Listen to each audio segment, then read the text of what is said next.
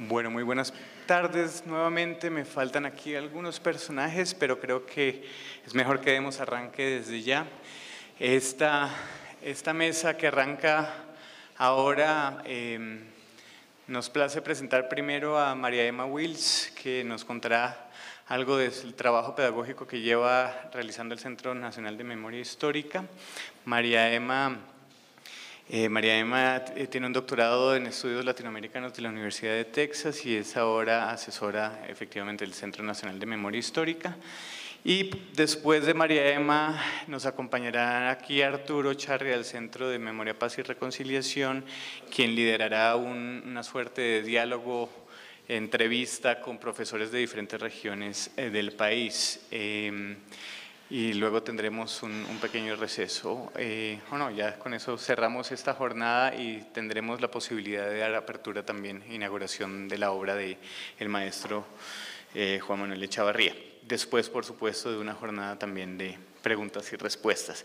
Entonces, eh, sin más, te cedo la palabra, María Emma. Muchas gracias por haber estado acá con nosotros hoy, por haber aceptado la invitación y adelante. Creo que estoy ahora eh, buenas tardes a todos y todas. Bueno, primero agradecer a Ariel, a todos los organizadores y las organizadoras de este evento. Eh, para mí siempre será un placer y un reto, un desafío, eh, hablar sobre memoria histórica y pedagogía. Creo que ustedes en la mañana ya vieron la complejidad del tema, ya escucharon cómo la memoria histórica no necesariamente siempre conduce a una mayor democracia, a una mayor capacidad de diálogo en el aula escolar. Y creo que esos, esas advertencias son muy importantes. Y lo que yo quiero hoy hacer es presentarles cómo en el Centro Nacional de Memoria Histórica hemos pensado la memoria histórica como una aliada de la democracia y de la paz. Es decir, cuáles son las decisiones metodológicas que hemos tomado para que la memoria histórica en el aula no se convierta en un engranaje más de la guerra, de los odios y de las venganzas. El trabajo de memoria histórica en el centro, además, quiero decirlo muy, muy claramente, es un trabajo de equipo. Aquí estamos, el equipo creo que en completo, es un equipo joven, absolutamente dedicado de corazón a lo que están haciendo. Y es un equipo además que ha trabajado de la mano de algunos profes que también veo por acá, está Lorena, en fin, hay varios profesores que han usado lo que llamamos la caja de herramientas, eh, un viaje por la memoria histórica, aprender la paz y desaprender la guerra. Así que esto es un trabajo colectivo, es un trabajo además siempre muy dinámico que tenemos que estar revisando permanentemente con base en lo que vemos que ocurre en el aula. Es un trabajo perfectible, por lo tanto, y es una propuesta, pero es una propuesta apasionada. Y es una propuesta apasionada porque, sinceramente, quiero abrir la discusión de hoy diciendo lo siguiente. 2017 eh, empezó, empezó como un año, digamos, en Colombia con un proceso de paz que ha dejado a muchos colombianos indiferentes, a mi gran sorpresa y para mi gran dolor. Y en el mundo y en general en Estados Unidos con la elección de un presidente como Trump. Eso nos pone frente a un mundo y unas advertencias y unos retos como profesores, como estudiantes, como jóvenes, que hace mucho no sentíamos, porque esto es un sentimiento también. Entonces, frente a lo que está ocurriendo, pues uno no puede hablar desapasionadamente como si fuera un encuentro de, no sé, para hablar de cosas inocuas. Realmente estamos hablando del centro del corazón mismo de lo que nos puede permitir vivir juntos o lo que nos puede desunir. ¿Sí? Y por eso para mí es tan importante tener esta oportunidad. Entonces, este es el esquema de la presentación. En primer lugar, quiero decir cuáles son las inspiraciones y las aspiraciones que están detrás de llevar la memoria histórica al aula Luego, frente a esas aspiraciones, ¿cuál es el problema? ¿Cuáles son los retos? ¿Cuáles son los desafíos de llevar la memoria histórica al aula?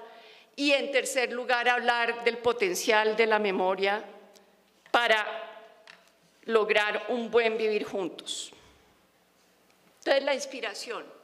La inspiración además se nutre de lo que nos han enseñado en el Centro Nacional de Memoria Histórica los eh, grandes sabedores de las comunidades indígenas. Como ustedes saben, ellos hablan de un buen vivir juntos, un buen vivir juntos. Las comunidades indígenas tienen unas metáforas absolutamente poéticas que logran condensar aspiraciones. Y creo que esa aspiración de un buen vivir juntos está en el centro de las preguntas que nos llevan a llevar la memoria histórica al aula escolar. Pero ese buen vivir juntos es sobre todo un buen vivir juntos plural, digamos, lo que está en este momento, ay, perdón, perdón, yo siempre suelo, sorry, oh, oh, creo que eché para adelante. Pero lo que está justamente en este momento en riesgo es esa pluralidad. ¿sí? No, yo no tengo la menor duda de que lo que está ocurriendo en Estados Unidos y en otras partes, en Europa también, es como el derrumbe de los principios de un buen vivir plural. En segundo lugar, la aspiración es que el aula se convierta en una experiencia vital donde los jóvenes y las jóvenes desarrollen criterios morales para hacerse responsables de las acciones políticas, sociales que adopten en su diario quehacer. Y en tercer lugar, obviamente la memoria histórica es el campo que quiere, si se quiere, inspirar la agencia histórica, que no quiere cultivar la indiferencia o la, antipatía o la indiferencia frente a los otros, sino que por el contrario quiere inspirar un vínculo con los demás a través de la agencia, a través de la acción colectiva a través de la responsabilidad en la esfera pública. Y ahí eh, creo que es donde todos estos equipos que se han hecho cargo de esta caja se encuentran. Ay. Bueno, pero esa es la aspiración, pero ¿cuál es el problema? ¿Cuál es el problema que tenemos? Y aquí me voy a referir a Colombia en particular. No sé si ustedes recuerdan que en el 2015 se hizo una gran encuesta de salud mental en Colombia.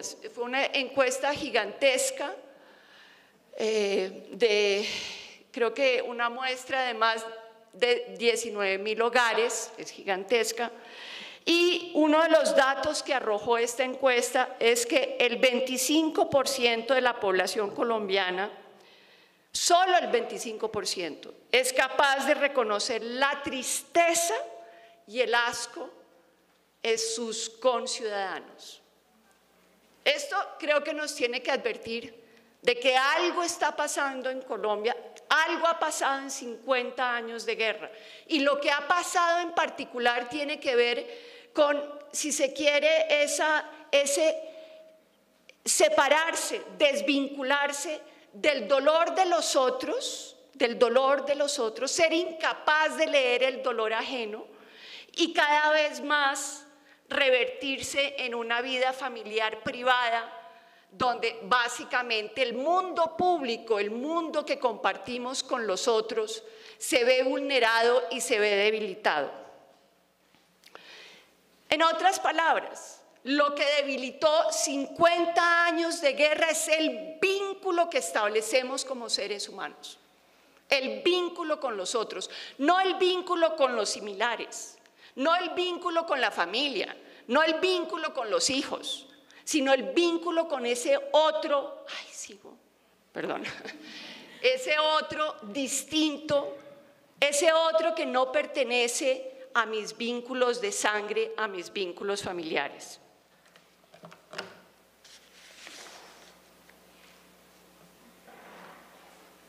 Como ustedes verán, tiendo a ser bastante torpe en esto. Ya.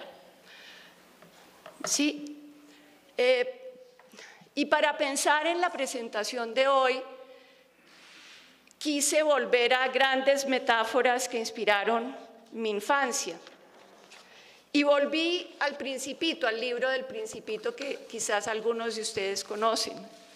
Porque el principito, bueno, es un personaje, es una gran metáfora del vínculo humano, de la amistad y del amor. Pero es también una gran metáfora de lo que nos suele suceder a las personas cuando nos volvemos adultos en ciertas circunstancias. El principito nace en un planeta, no es el planeta Tierra, pero luego navega por otros planetas y se encuentra con adultos obsesionados con su propia mirada sobre el mundo. Está un rey, está un empresario que solo piensa en cifras y en cifras y más cifras. Está un alcohólico que solo piensa en la botella. Es decir, es una gran metáfora de las obsesiones que nos impiden ver a los demás y que nos convierten en un mundo, en un planeta encerrado esta, figura en realidad nos habla de cómo los seres humanos, en ciertas circunstancias, cuando devenimos adultos, nos encerramos en un mundo que no tiene conexión con los demás. Entonces la pregunta es, ¿qué vamos a hacer en el aula? ¿Qué vamos a hacer en el aula para romper esos mundos encerrados? ¿Qué vamos a hacer en el aula para cultivar el vínculo que nos une con los distintos? ¿Qué vamos a hacer en el aula para pensarnos como parte de una comunidad? Una comunidad de distintos y no simplemente como una familia donde todos somos similares. Ese es uno de los problemas. El otro problema que yo veo es que básicamente en Colombia muchos hablamos de ciertas abstracciones, democracia, derechos humanos, ciudadanía. Pero en realidad esos discursos están absolutamente desvinculados de las prácticas cotidianas. ¿Sí? Son, si se quiere, abstracciones generales que no pasan por un vínculo con lo concreto, con la historia, con quiénes somos, de dónde venimos, que se han, si se quiere, convertido en eh, invocaciones que hacemos, pero que no nos transforman, que no nos llevan realmente a reconocer a los otros. Segundo problema que yo veo también en el aula y en el país. Como la historia ya nos enseña en el aula, cosa que me agrede profundamente, pero después podemos discutir al respecto. Entonces, los jóvenes y las jóvenes y los adultos también tendemos a pensar que básicamente lo que ocurre en el mundo es resultado de unos hombres poderosos. Entonces hacemos lecturas muy simples. ¿El problema de Trump es Trump? No, el problema de Trump es que fue electo que hay millones de ciudadanos norteamericanos que le hacen eco a la propuesta política que él encarna. ¿El problema colombiano es Uribe y Santos? No, el problema colombiano es, primero que todo, cómo se está invocando el conflicto en el espacio público, pero detrás de Uribe y de Santos hay una cantidad de colombianos que apoyan una versión o la otra. ¿sí? Pero esto de ver la historia como vínculos entre líderes y masas, ciudadanos y dirigentes, es una comprensión histórica que se cultiva. Y en este momento no veo que se esté cultivando eh, justamente porque se sacó la historia del currículum. Tercer problema, las lecturas que hacemos de la historia son planas. La gran pregunta de las ciencias sociales en general es, ¿qué hay de continuidad y qué hay de cambio entre un momento histórico y el siguiente? ¿Qué hay de ruptura? ¿Qué hay de patrón que se repite? Pero si no tenemos historia en la cabeza, todo nos parece plano, todo nos parece lo mismo. ¿Sí? Es como si repitiéramos la historia y no viéramos los cambios, pero también las continuidades.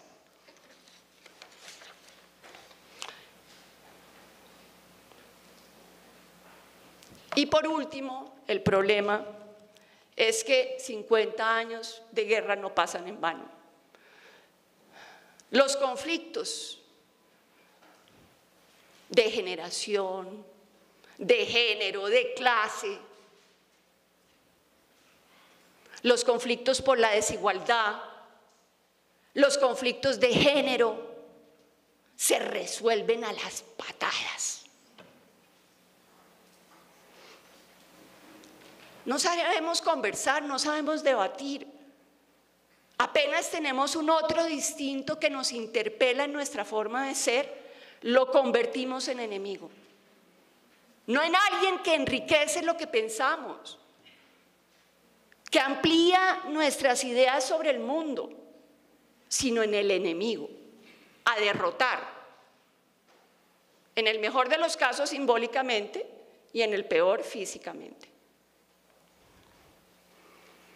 Y por último, los conflictos se simplifican, se vuelven conflictos entre buenos y malos. No hay contexto complejo, no hay circunstancias históricas, no hay condiciones sociales y políticas que expliquen esos conflictos. Esos, para mí, son los grandes desafíos de la educación y que tiene el país que resolver. Ahí creo que esta no es mi última presentación, pero bueno, ya.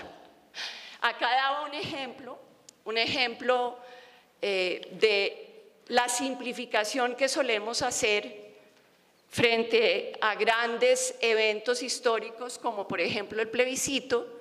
Y entonces el plebiscito fue leído como eh, el país del conflicto que votó por el sí y el país ajeno al conflicto que votó por el no. Pero en realidad eso es una simplificación. Porque si ustedes entran a los departamentos que votaron por el sí y por el no, van a ver variaciones. Antioquia, el Urabá, obviamente una región muy afectada por el conflicto, votó por el sí. Pero cojamos Bogotá, Bogotá, ustedes lo saben, en las goteras de Bogotá, en los barrios excluidos y marginados de Bogotá, se votó por el no. ¿Mm? Entonces hay una complejidad de la realidad que simplificamos. ¿sí? Y los medios masivos nos ayudan a simplificar, esquematizan, cuando la realidad es mucho más compleja. Bueno, pero ¿y si llevamos la memoria histórica al aula? ¿Qué podría pasar con esos problemas que yo les acabo de exponer? Primero, quiero decir claramente cuál es el norte de llevar la memoria histórica al aula. El pilar central de la memoria histórica en el aula es que queremos llevar al escenario del aula de clases reflexiones históricas para que las nuevas generaciones desarrollen desde esa lectura densa y compleja de la historia una ciudadanía crítica, un pensamiento autónomo, una capacidad de agencia responsable frente al mundo que les tocó vivir. Queremos también que la historia inspire preguntas, que inspire curiosidad, no solo por un pasado que pasó, porque eso no es así además, sino que inspire sobre todo curiosidad por la manera como ese pasado tiene consecuencias sobre el presente y puede abrir puertas o cerrar puertas al futuro.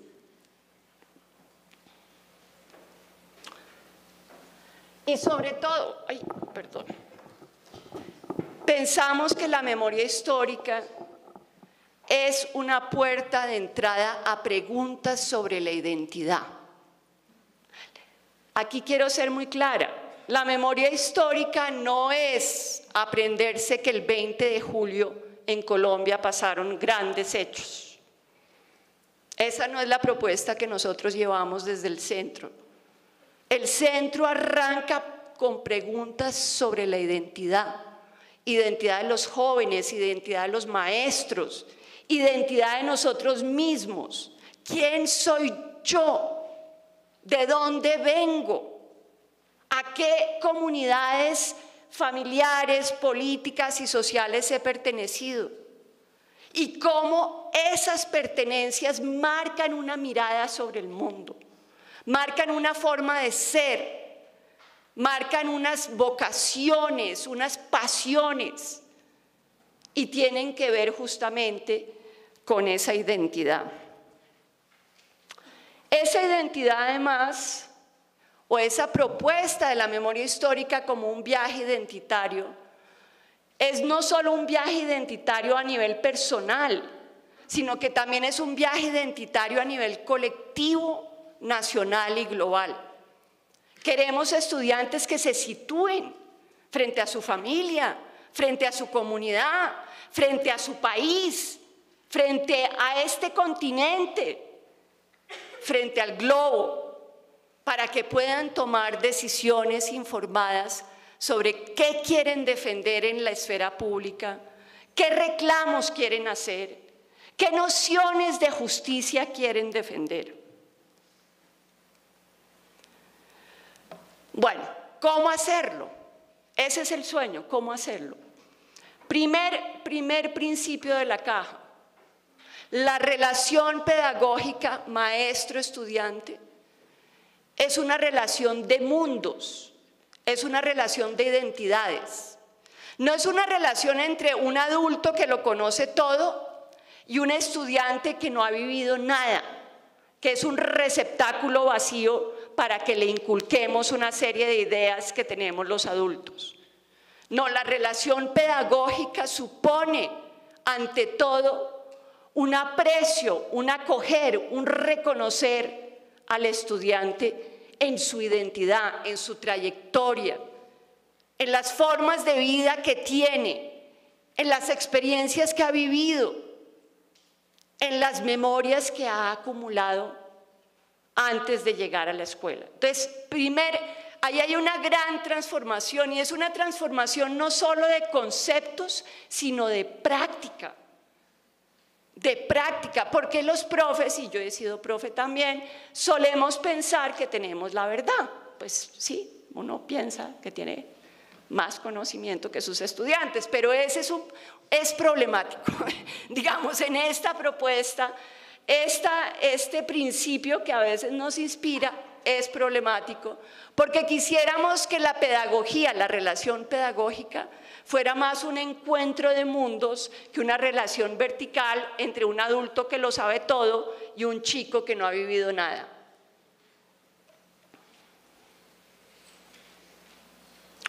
Pero además de querer que la relación pedagógica se transforme y sea ese encuentro de mundos, queremos proponer una ruta pedagógica situada y significativa cuando digo situada y significativa, quiero decir que cuando arrancamos a proponer una entrada a la historia, no arrancamos por el pasado, arrancamos por el presente. Y arrancamos por tu presente, el que tú estás viviendo, por tus aspiraciones, por lo que vives como dilemas en tu barrio, en tu comunidad. Y es desde esa situación presente, concreta que empezamos entonces a hacer preguntas al pasado. Pero es desde lo personal concreto que arrancamos el debate de quién soy yo. Además de esa ruta situada, queremos que sea significativa. ¿Qué quiere decir una relación pedagógica significativa? Pues que el pasado cobre vida, que le habla al presente, que le hable a los dilemas de los estudiantes, que realmente ilumine lo que ellos están preguntando en su vida cotidiana. No que sea un libro, Biblia, enciclopedia, sino que sea el pasado sea simplemente una inspiración para reflexionar sobre quiénes son ellos en el presente. Y obviamente, tercer principio de esa caja y de esa memoria es que siempre hacemos un vínculo entre el intelecto y las emociones. No es posible traer la memoria histórica del país al aula pensando que es un debate racionalista, enciclopédico, iluminado entre ciudadanos que no sienten, ¿no? Porque mirar el pasado es efectivamente pasar por emociones, pasar por sentimientos y escuchar con empatía a las víctimas directas e indirectas del conflicto armado. Obviamente todo esto implica entonces enorme imaginación de parte de los maestros y maestras, porque en el fondo lo que queremos es que esa memoria histórica pase por mi memoria. Ese mi memoria y esa historia nacional tienen que conectarse, tienen que hablar de manera mucho más, si se quiere, fluida. Y obviamente mi historia a nivel personal tiene un contexto, el contexto regional, el contexto local, el contexto nacional. Y así mi historia se va trenzando con la historia y nuestra historia, no solo a nivel nacional, sino a nivel global. Y ahí está la ruta, como ustedes ven. Bueno, ahora vamos a ver si yo puedo, así. Ah, siempre arrancamos desde las memorias personales de los estudiantes. El, el puerto de entrada para hablar del pasado, vuelvo y lo reitero, no es el pasado, es quién soy yo como joven, dónde habito, de dónde vengo, de dónde venía mi familia. Mi familia es de Bogotá, vino desplazada. ¿Qué vivieron mis abuelos? Luego trabajamos memoria colectiva con los estudiantes. Ahorita podemos dar varios ejemplos. Y finalmente, el último puerto es el de la memoria histórica. Cada uno de estos puertos son, si se quiere, conversaciones. Conversaciones que se van ampliando. La memoria personal es una conversación. Así pensemos que estamos nosotros solos y seguramente muchos de ustedes lo han vivido, cuando nosotros tenemos reflexiones íntimas con nosotros mismos, lo que nos percatamos es que tenemos distintas voces. ¿Sí? Que vivimos distintos dilemas. Que una es la María Emma, yo qué sé, puedo dar ejemplos, educada por la abuela. Y otra es la María Emma que pasó por varios colegios y que hizo parte de varias comunidades estudiantiles. Y tiene tensiones, y tiene contradicciones, y tiene dilemas, y tiene que hacer compromisos y equilibrios para ser ella quien es.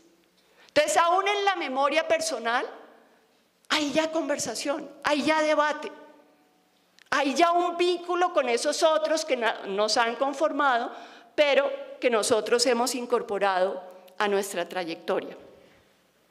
La memoria colectiva es una conversación ampliada con gestores comunales y familiares y la memoria histórica finalmente es otra conversación ampliada donde incluimos otras fuentes, no solo gestores comunales, sino también archivos, periódicos, en fin. Otra manera de ver la memoria histórica es que la memoria histórica trabaja dos dimensiones, tiempo y espacio. ¿Sí? Se hace preguntas sobre el tiempo, el transcurso del tiempo, y se hace preguntas sobre el espacio. La experiencia humana, pongámoslo así, está anclada en tiempo y espacio. Pero la cuestión de la memoria histórica es que acepta que ese tiempo y ese espacio no es homogéneo.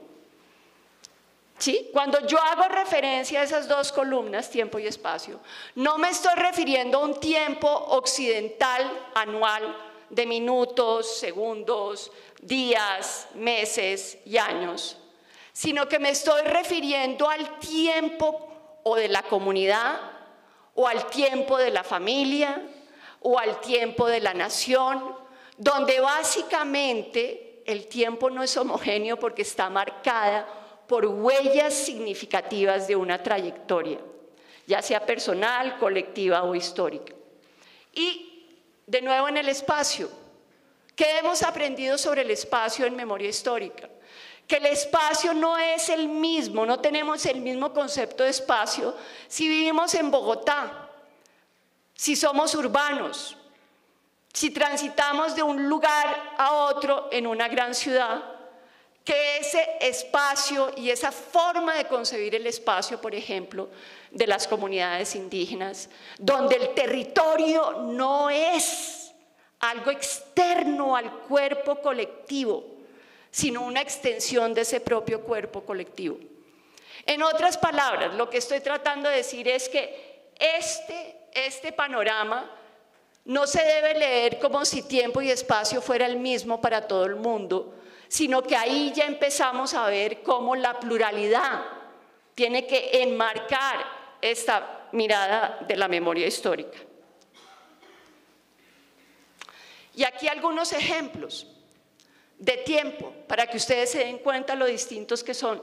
Esta es una línea de tiempo de Montes de María, donde básicamente las comunidades marcaron tanto aquellas iniciativas de resistencia a la guerra que tuvieron en sus comunidades, como los eventos traumáticos que vivieron en el marco del conflicto armado.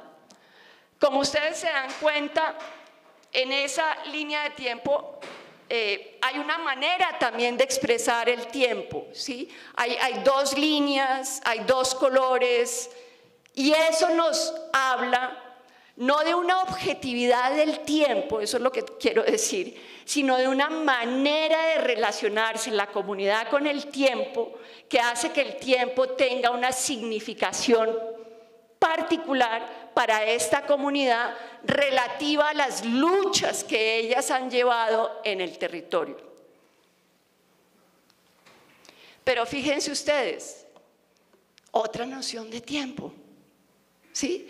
Esta noción de tiempo la trabajamos en el Cauca con gestores comunitarios indígenas y fíjense lo distinto, es un tiempo circular, es un tiempo hecho, si se quiere, de reiteraciones, pero donde el círculo se va ampliando.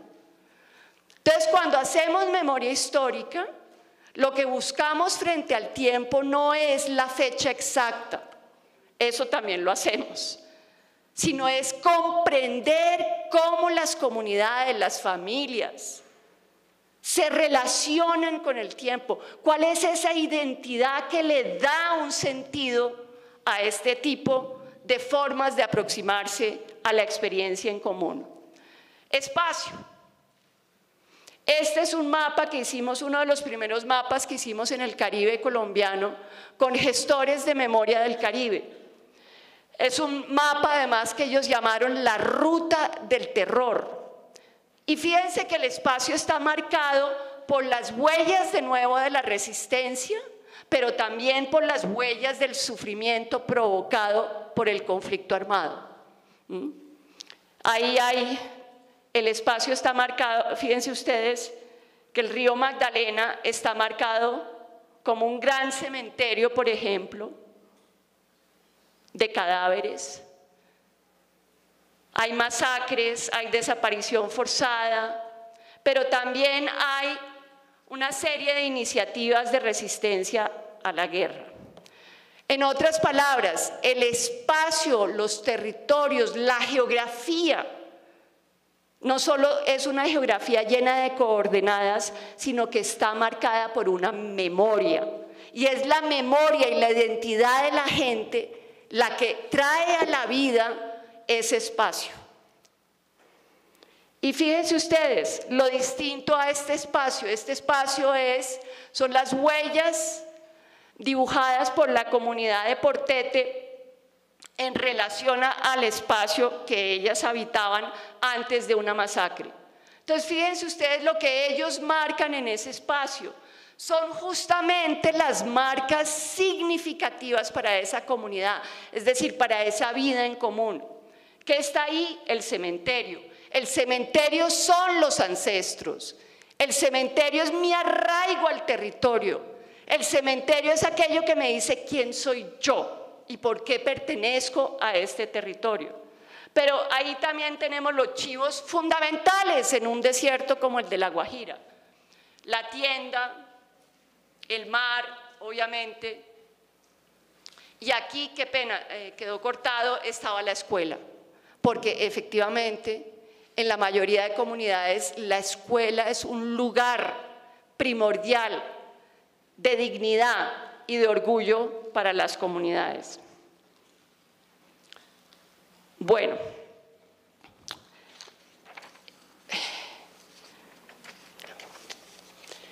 aquí tenía otras eh, pantallazos, pero voy a resumirlos ya había dicho yo que la memoria histórica tiene esos tres registros personales, colectivos y de memoria histórica, y había dicho que queremos combinar las emociones, los sentimientos y el intelecto. Ahora lo que quiero decir es que la memoria histórica convoca no a los profes de ciencias sociales, no, es convoca o debería convocar a los profesores de artes, a los profesores de lenguas, a los profesores de ciencias, porque en realidad la memoria histórica es un hilo transversal, es un hilo que puede inspirar a los profes de esas distintas áreas a pensar quiénes son sus estudiantes, en qué país viven, qué es lo que están viviendo esos muchachos jóvenes que están a punto de graduarse. Y ahí lo que quería también eh, señalar es que, por ejemplo, en lenguas es posible trabajar con testimonios de víctimas. ¿sí? Es posible en lenguas trabajar las novelas históricas que están saliendo en este momento. Pablo Montoya, acabo de leerlo, Los Derrotados. La historia oficial del amor, Ricardo Silva, es una historia, es una memoria colectiva de la historia del país. Eh, Rosario Evelio, los ejércitos, en fin, se me traslapó. Pero efectivamente en lenguajes tenemos una riqueza de memorias para trabajar con nuestros estudiantes. En ciencias efectivamente podemos también trabajar informes de memoria histórica, Podemos trabajar contrastación de fuentes, podemos trabajar hipótesis sobre por qué pasó lo que pasó, en fin. Y obviamente Ciudadanas tiene que estar transversal a la memoria histórica porque yo entiendo la ciudadanía como el vínculo que me une con los distintos. Esa es mi definición de ciudadanía. ¿sí? Es el vínculo que me permite vivir con otros que son distintos a mí sin arrasarlo simbólica o físicamente. Entonces, todo esto es como, como el, el lugar de la memoria histórica para poder vivir juntos. Voy a pasar un poquito más rápido. Aquí es el resumen de lo que llamamos la ruta y solo para... Para que ustedes entiendan eh, cómo trabajamos con estudiantes en el aula escolar.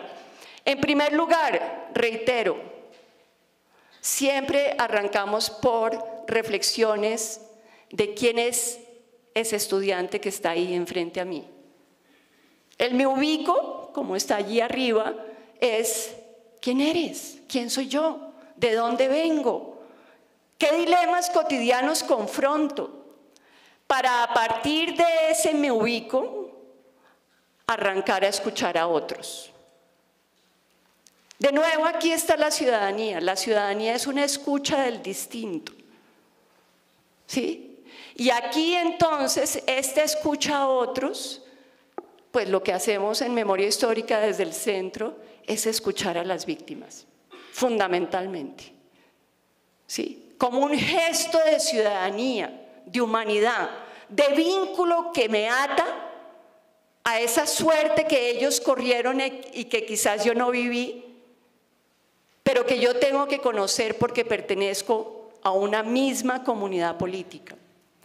Y ahí entonces trabajo esos testimonios, esas memorias, desde la memoria individual y la memoria colectiva de las víctimas.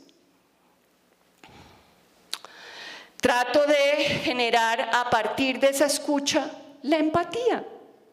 Lo que la encuesta de salud mental nos dijo que nos hace falta reconocer al otro que está triste, que sufrió, que resistió, que tiene dignidad. Que no puedo salir corriendo y decir, no, yo no quiero ir. Es que fue en mi país, fue en mi región.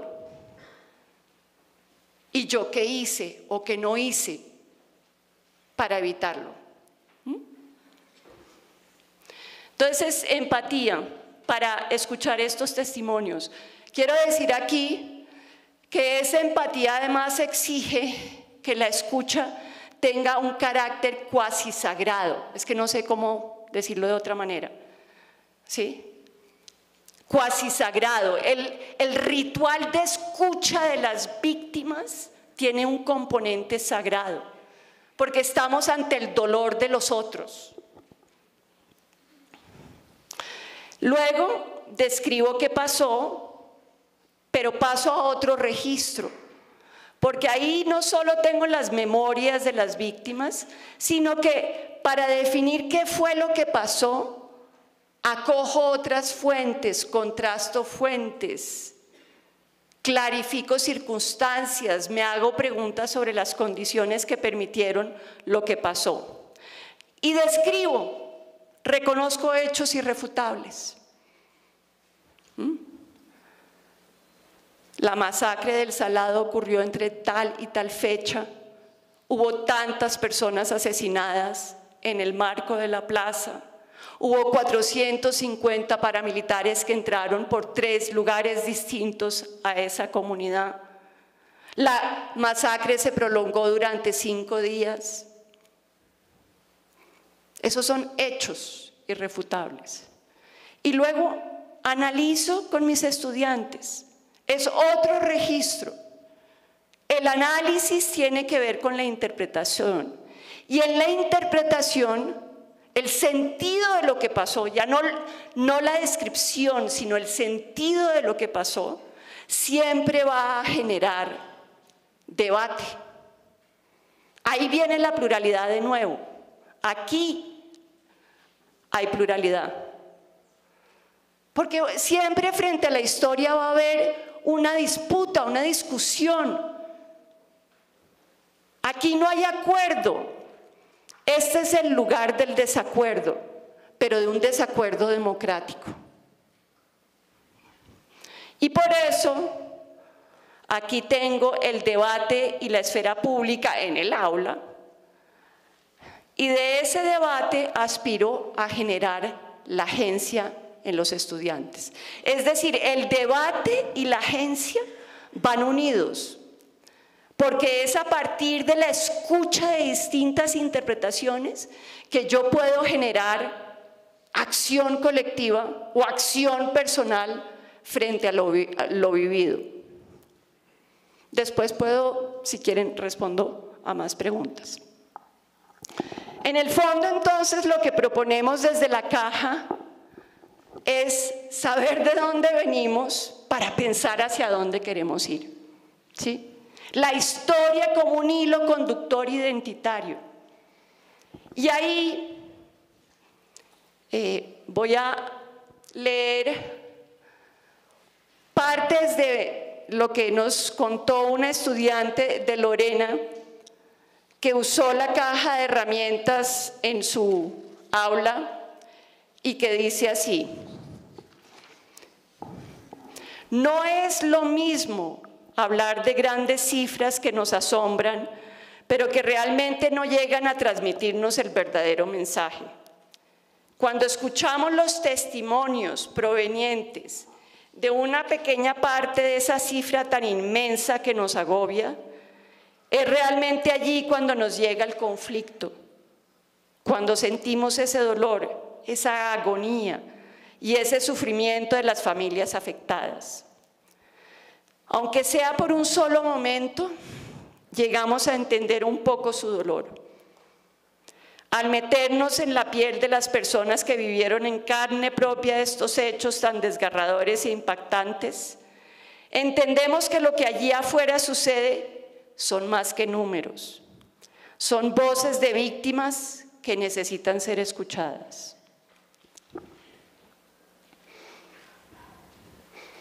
Y del mismo discurso de esta joven, mi mamá tuvo la oportunidad de ver el libro del Salado, este es uno de los libros que usamos, y se sintió identificada. Ella también vivió la guerra. Sé que muchos se van a sentir identificados cuando tengan el libro en sus manos. Van a entender un poco más qué sucedió y por qué hoy en día el país está como está. Y por último, Quiero agradecer al Centro Nacional de Memoria Histórica por permitirme hacer parte de esta experiencia, por enseñarme una pequeña parte de la historia de nuestra nación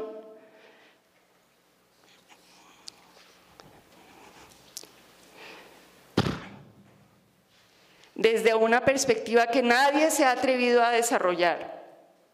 A los jóvenes presentes, el cambio está en nuestras manos. La injusticia social continúa por nuestra ignorancia. La educación es la salida. Maestros, en sus manos está nuestra formación como ciudadanos competentes. Sin ustedes, el futuro del país está perdido. Muchas gracias.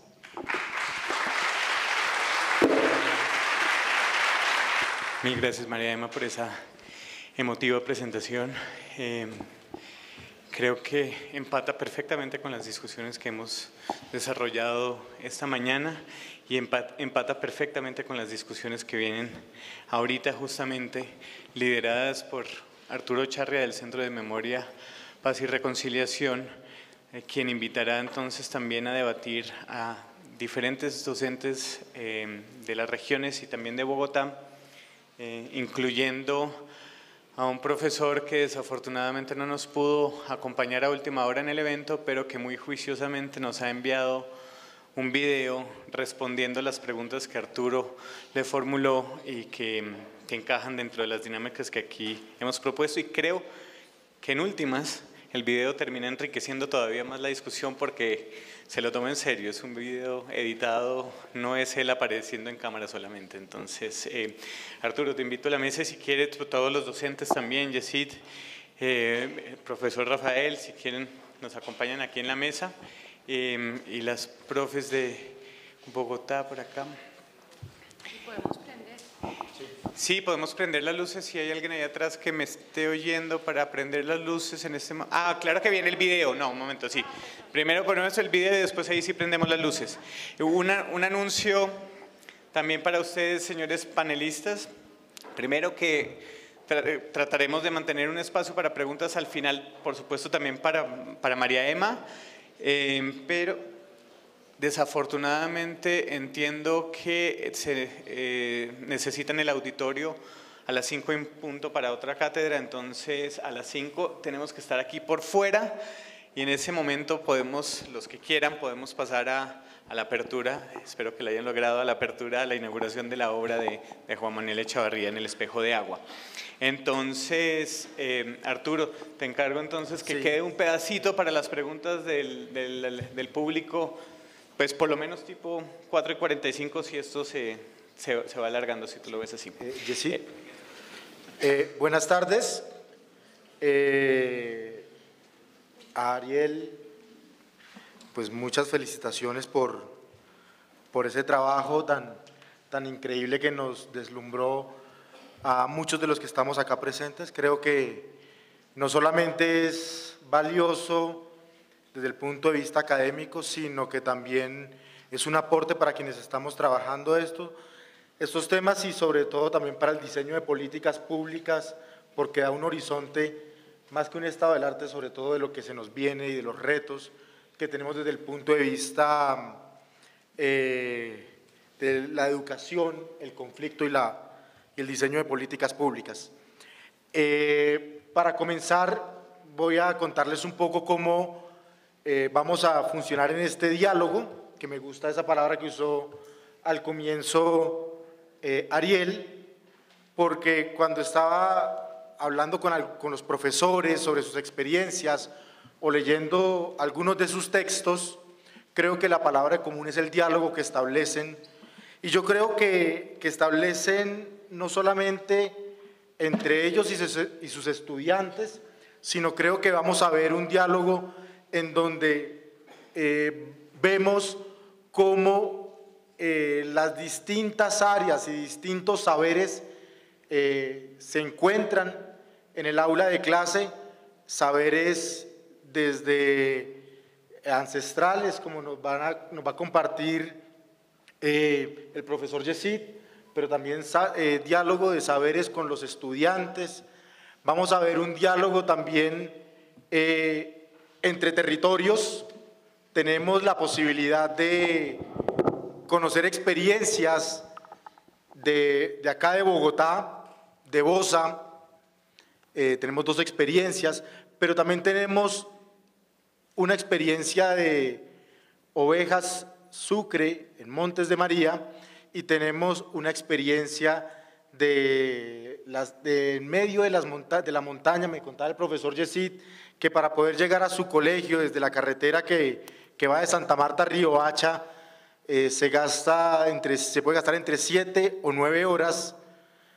Digamos que la diferencia de la distancia de las horas es la cantidad de familiares que se encuentren en el camino porque todos los, la familia está por ahí regada en medio de la montaña, entonces si encuentra con, se encuentra con varios familiares, llega al día siguiente, yo creo, porque el encuentro, la ruta puede durar hasta nueve horas para llegar desde la carretera hasta el colegio. Eh, y tenemos, teníamos una quinta experiencia que a mi juicio tenemos que celebrar que no esté acá, porque es una buena noticia el por qué no está acá que es la experiencia del profesor Pablo Iván Galvis de San Vicente del Caguán, que tiene un proceso de formación, de trabajo con, eh, sobre todo con niños y con niñas de, la comunidad de San Vicente, y actualmente está liderando eh, ese proyecto que seguramente muchos hemos visto de las bibliotecas móviles de paz, es uno de esos bibliotecarios que, realmente están transformando desde ese diálogo que, es la palabra clave eh, acá a través de la lectura, espacios de reconciliación, espacios de reencuentro, espacio para que a través de esa lectura, de esos textos, eh, se encuentre la comunidad en la biblioteca como un espacio también de reconciliación a través de la lectura. Entonces, eh, quiero presentarles, antes de poner el video, quiero presentarles a las personas que nos acompañan. Está a mi izquierda Diana Fique, que es profesora del Colegio Alfonso Reyes Echandía de Bosa. Eh, Diana tiene una experiencia bastante interesante que comienza en noveno grado, si no estoy mal, y termina más o menos en once el proceso en el que comienza a trabajar con sus estudiantes la comprensión del conflicto armado eh, y van indagando, explorando a través de nuevo del diálogo entre las ciencias sociales y el arte y digamos que ya en 11 eh, la propuesta o ese proceso se consolida a través de una puesta en escena de una serie de trabajos que esperamos ahorita nos, nos comparta. El profesor eh, Yesid Torres, que nos acompaña desde la Sierra Nevada. El profesor Yesid eh, dicta, es profesor de grado sexto a once, de sexto a once, de, dos de tres asignaturas, si no estoy mal, lengua materna, producción pecuaria y saberes propios. Es un poco para ver cómo estamos también totalmente desde otra orilla eh, desde la comprensión de esas asignaturas, o como llamamos las asignaturas, y cómo a través de eso se, construye realidad. El profesor eh, Yesid tiene una experiencia en donde el diálogo es el protagonista para resolver conflictos entre sus estudiantes, pero también entre la comunidad. Tenemos al profesor Rafael, Rafael que lleva 30 años de, experiencia docente en, en, ovejas, en Montes de María, y el profesor eh, Rafael me contaba, o cuando hablábamos en estos días, eh, que trabajar en un, en un, territorio tan marcado por la violencia, donde la comunidad y los estudiantes han, han hecho de la guerra una extensión de su cotidianidad, pues ha hecho que ellos se tengan que reinventar.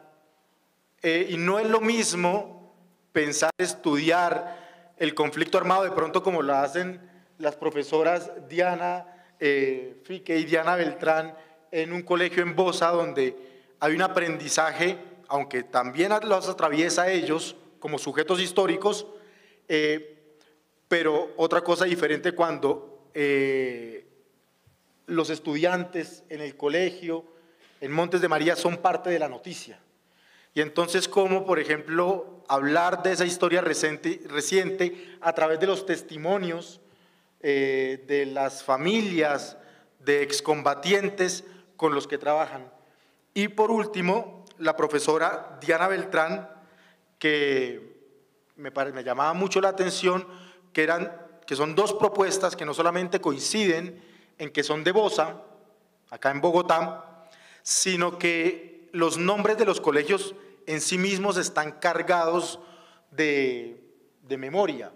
La profesora Diana es profesora del Colegio Leonardo Posada Pedraza, que nace, si no estoy mal, el año 2005, el, colegio, y, surge como un acto de reparación hacia esos miles de líderes sociales asesinados en medio de, la violencia de los años 80, eh, y la profesora eh, que hace parte del, de, este colegio ha asumido también esa responsabilidad de, estar en un colegio que tiene un nombre tan cargado de, historia para, de alguna manera, que sea una apuesta ética desde su clase y desde ese diálogo que también hace con, con las artes y las ciencias sociales, para que los estudiantes se apropien no solamente del discurso histórico y abstracto, sino que comiencen a apropiarse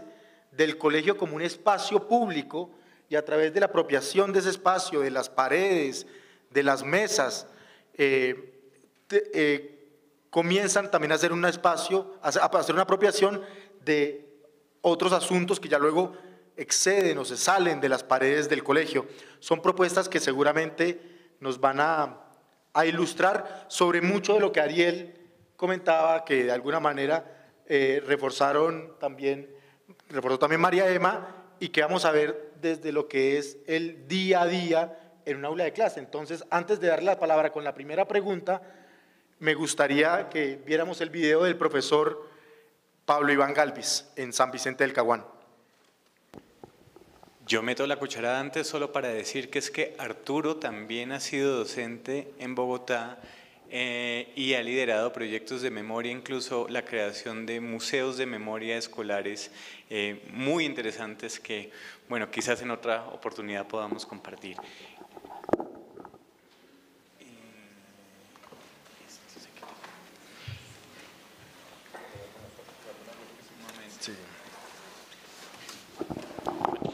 falta sonido por acá. Tiene un cable de sonido por aquí.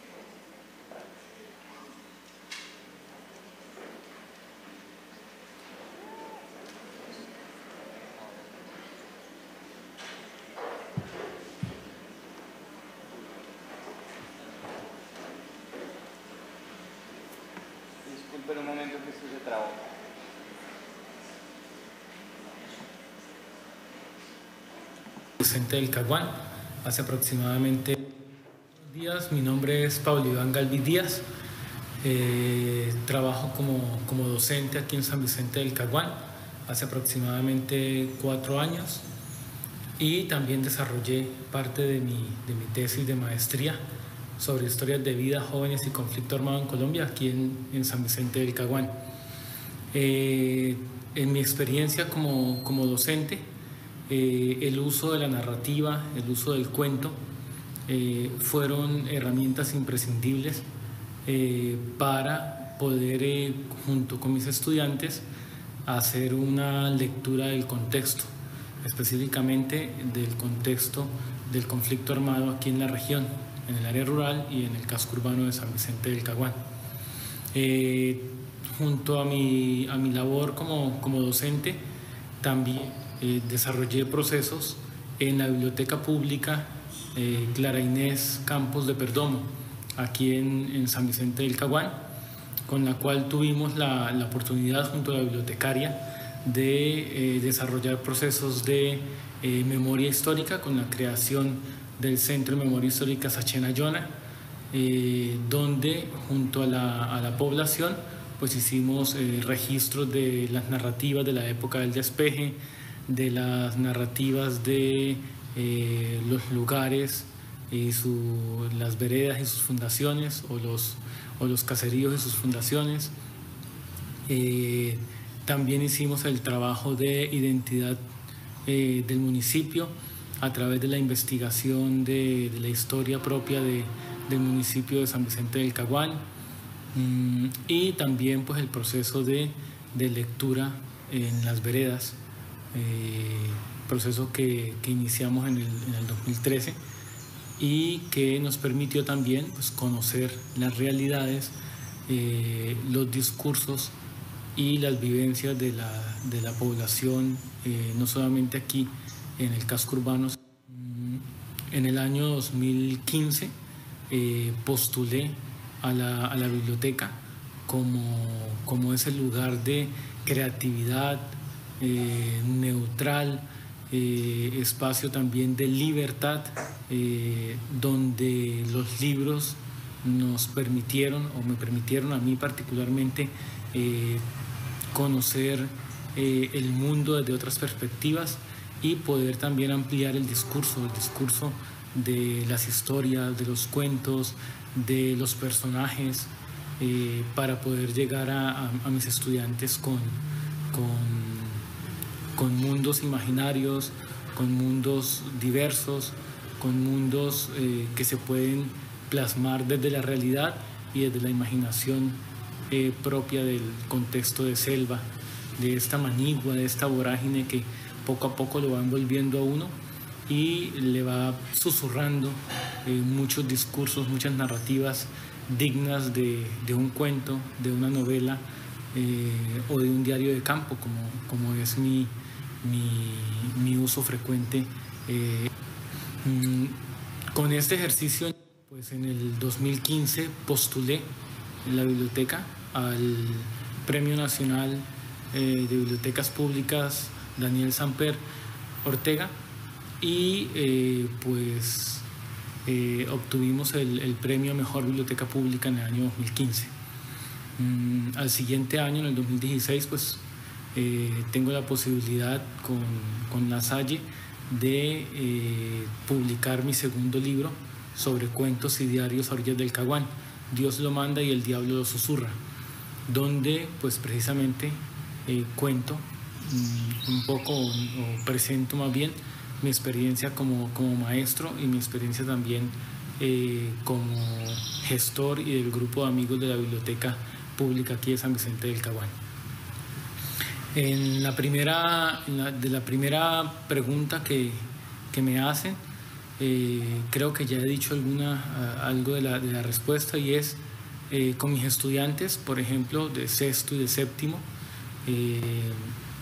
dentro del aula de clase, pues creo que la importancia de tejer historias, eh, lo que hice desde mi llegada aquí a San Vicente es, eh, durante todo el año escolar, junto a ellos, ir eh, tejiendo una misma historia de aquellas, aquellas lecturas que hacía yo particularmente en, la biblioteca aquí de San Vicente, eh, se las narraba a ellos en clase y posteriormente eh, uno de mis estudiantes me dijo, me dijo maestro Pablo, ¿usted escribe esas historias? Entonces yo le dije, no, yo las leo, yo las leo en, en la biblioteca eh, en las colecciones que hay.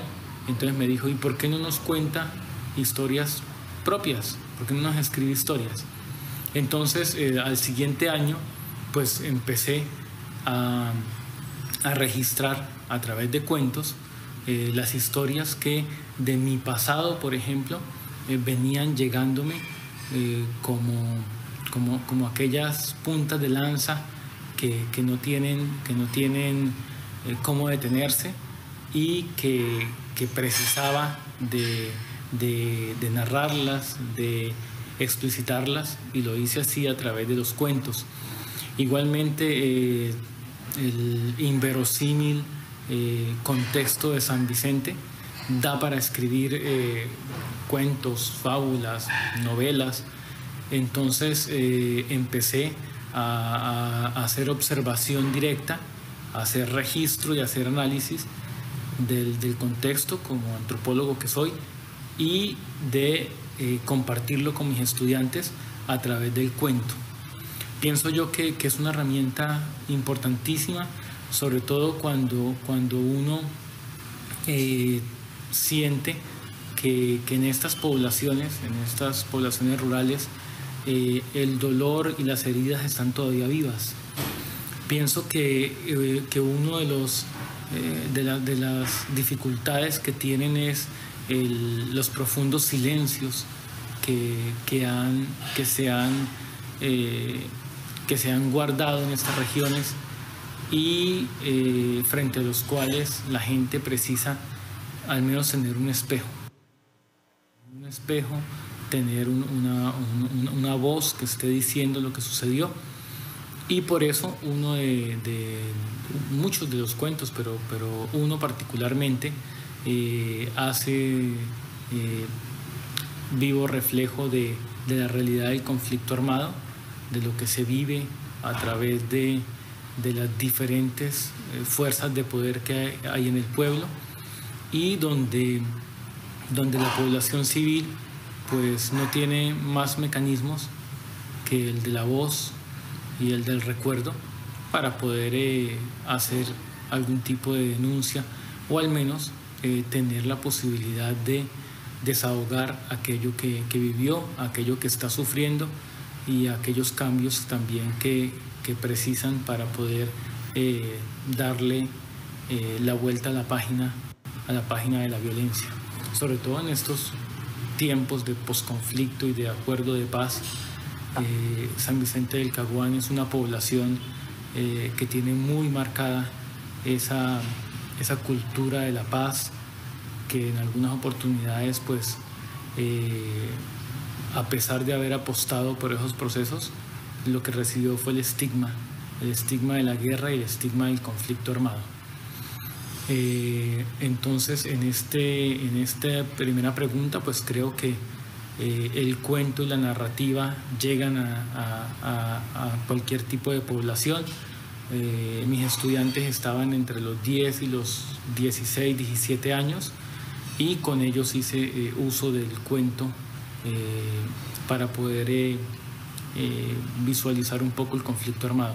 Con los maestros y en el centro de memoria lo que hice fue el trabajo de diarios de campo.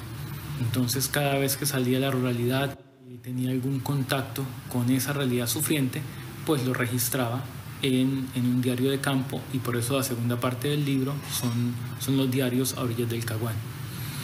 Para la, para la segunda pregunta, que si basta con la memoria, voy a leer uno de los, de los poemas que hice eh, para San Vicente del Caguán, se llama Espejismos. Voy a leer una parte de ellos donde, donde respondo un poco a esa pregunta. Sus ojos se entristecieron al presenciar el desvanecimiento de una calle solitaria habitada fielmente por el polvo y la melancolía. Desaparecieron los estantes de hierro que albergaban esos seres pálidos, viejos y magullados por el pasar de los dedos sobre su piel. En la tarde vislumbró que no se puede vivir en el pasado y que el mejor tributo a la historia es tejer un apasionado hoy. Sus ojos agudizaron la mirada al develar la destrucción de su calle de arena rojiza, casas de madera multicolor y narrativas de dolor.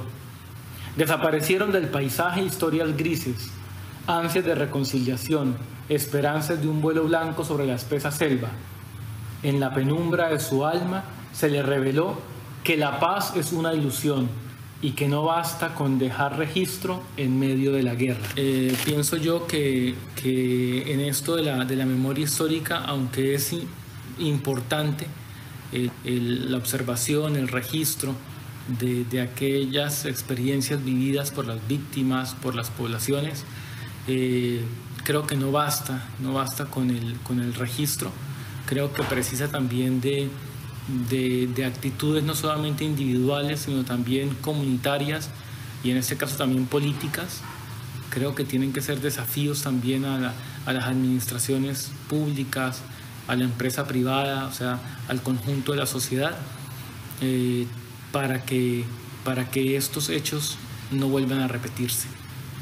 Vuelvo y digo, eh, conocer, registrar la historia violenta es un mecanismo insuficiente, diría yo, es un primer avance eh, para ir tejiendo la paz tan, tan anhelada y, ese, y ese, esa posibilidad de la no repetición se hace con, también no solamente con el registro, sino con obras y con consensos y con compromisos de las colectividades.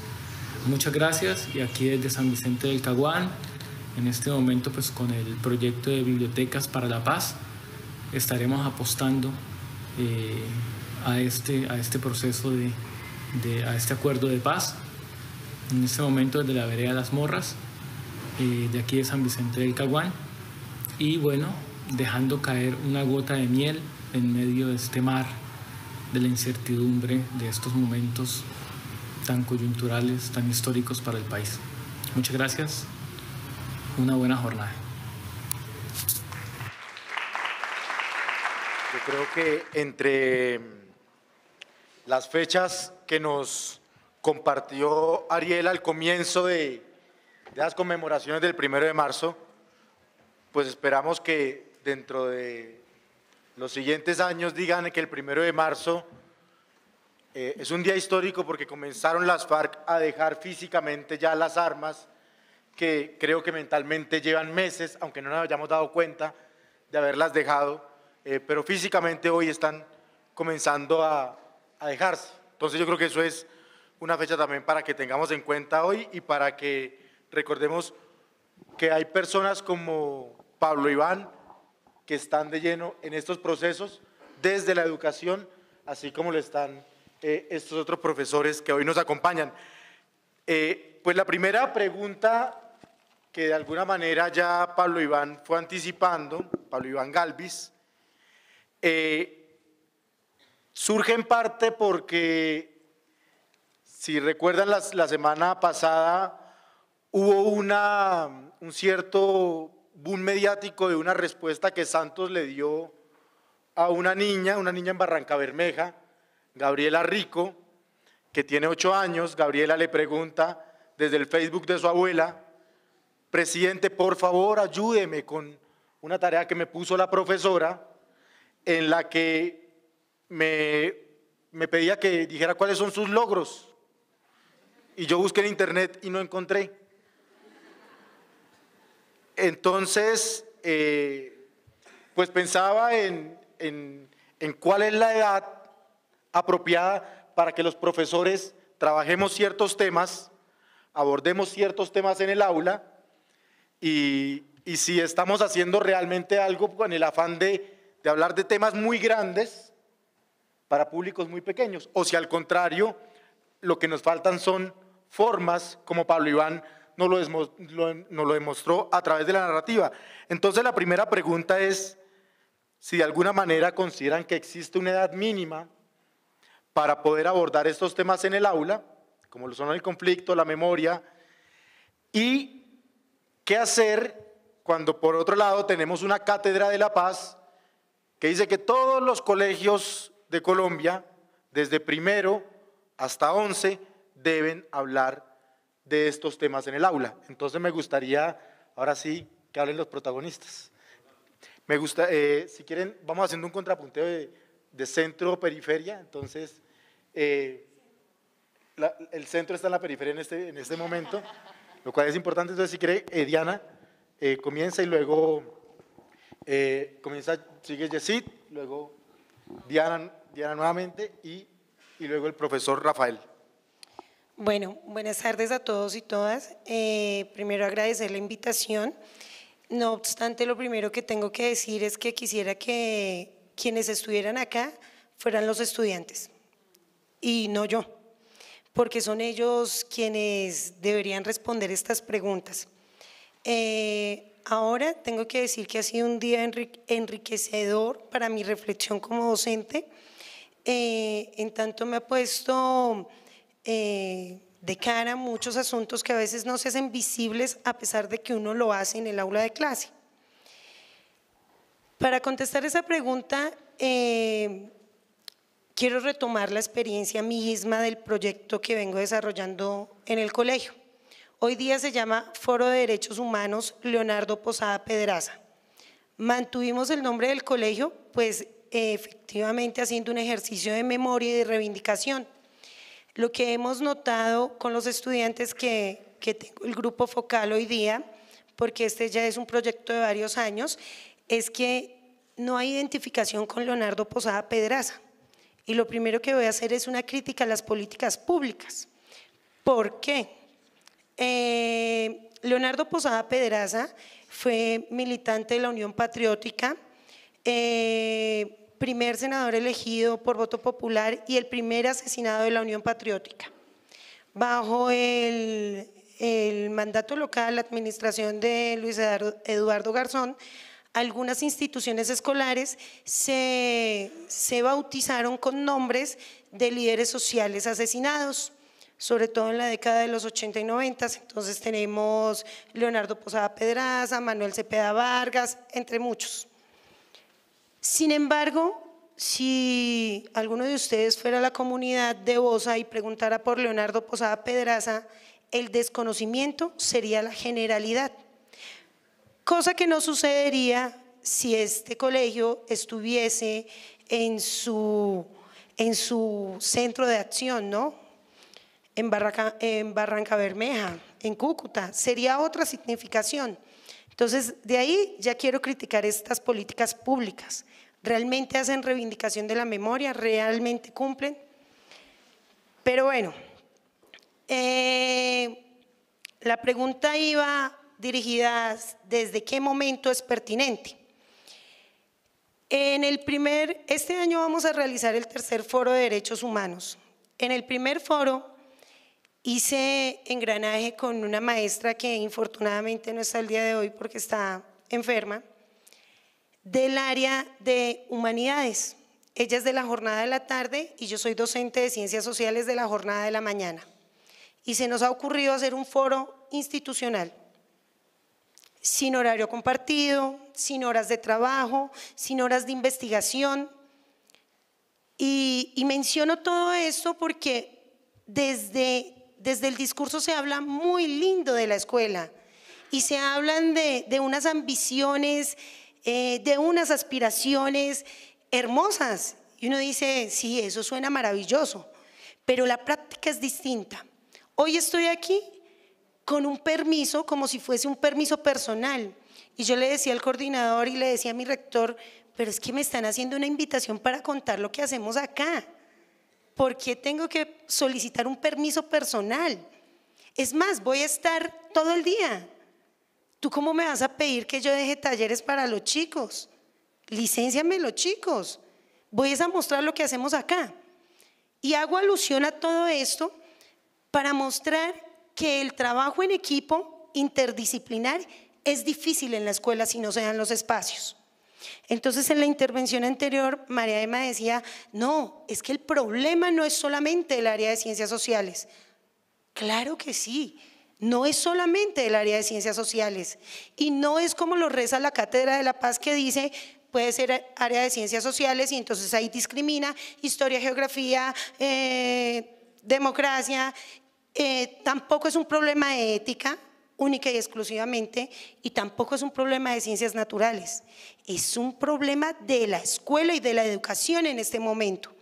Ahora bien, surge nuestro proyecto del foro en esas condiciones y pues empezamos a trabajar más, así, más, en el tiempo libre. Entonces, ella que es de la tarde llega un poquito más temprano para poder cuadrar cosas, yo me quedo un poquito más tarde, pero uno diría, con todo lo que está sucediendo en el ámbito educativo hoy día, hace poco, entonces los maestros universitarios pueden extenderse un poco más en su labor y salió un artículo de prensa muy interesante que decía, son muy productivos. Eh, iniciábamos la sesión de hoy haciendo referencia a Todorov, 78 años, una producción intelectual envidiable y en la última parte de su vida muy buenos textos pero al maestro de escuela no se le considera igual. ¿Y por qué no se le considera igual? Porque no se le da tiempo para investigar. Entonces, el maestro de universidad tiene tiempo de investigación y se le paga por investigación. El maestro de escuela no. Y no quiere decir que no lo haga. Y entonces de aquí ya también estoy dando una crítica a la Cátedra de la Paz y al sistema educativo como tal, y a las políticas que están rigiendo. Entonces, esto debería ser un problema de la escuela en conjunto, de todos los maestros. Y reza el, eh, el documento de la Cátedra de la Paz que los maestros deben recibir formación. ¿Pero qué formación? ¿Cuándo? Yo les digo, 2017, el documento es del 2014, el decreto sale en el 2015, estamos 2017 y yo tengo que decir que todos los maestros de escuela, y no solamente de escuela, sino de educación superior, no han recibido formación. Entonces, estamos hablando de unas políticas públicas que rezan en el papel muy bellas, pero que en la práctica no se llevan. Nace entonces el foro y, nace con el reto de empatar las dos jornadas, de empatar dos áreas y la propuesta inicial se la hice yo.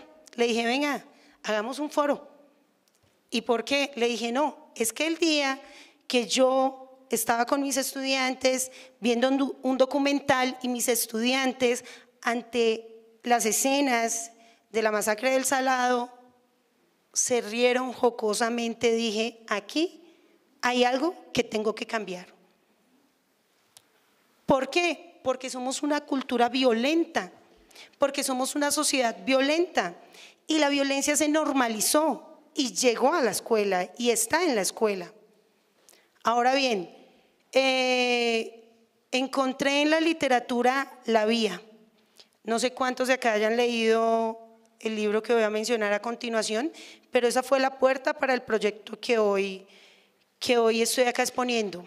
Los muertos no se cuentan así, es narrativa testimonial. Eh, y lo puse a leer a los muchachos y es un libro crudo, y los chicos lloraron y lo sintieron. Y yo dije, este es el camino. Mientras que ellos no lo sientan, no va a poder ser. Y el primer foro se puso como tarea, bueno, esto lo está haciendo ciclo 5, pero ¿cómo llegamos al resto de la comunidad? Pues también lo vamos a hacer con literatura. La tarea fue que los chicos de grado 11 construyeran una historia para irle a contar el conflicto armado a sus compañeros de primaria. Y ahí, ellos muy propositivos, tuve cuentos hermosos eh, en 3D, con muñequitos, con animales, etcétera, etcétera, etcétera. Entonces, para mí, efectivamente no hay límite de edad. Me parece que el primer eh, reto que tiene la escuela y la educación en este momento es pensarse este escenario de posacuerdo, no posconflicto, sino posacuerdo. Me parece que es importantísimo que como sociedad reconozcamos esa historia y las diversas historias, las diversas memorias, como se ha mencionado el día de hoy. Y, pues la invitación a, la construcción colectiva, sin antes eh, dejar claro que en el discurso suena lindo, pero mientras que las políticas públicas no se cumplan y no se aterricen, estamos lejos. Y como diría el profesor Guillermo Hoyos, no sé si estamos preparados como sociedad para el perdón tan necesario en este escenario. Muchas gracias, Diana.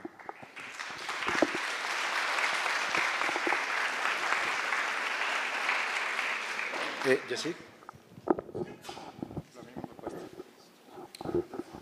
Dos minutos. Muchísimas gracias. Buenas tardes a todos y a todas. Tuduza no Mechina. Lo estoy saludando en mi lengua y digo como esta familia. Y esto es, eh, lo quiero decir porque en nuestra comunidad eh, la educación empieza, no tiene, no tiene una edad eh, específica.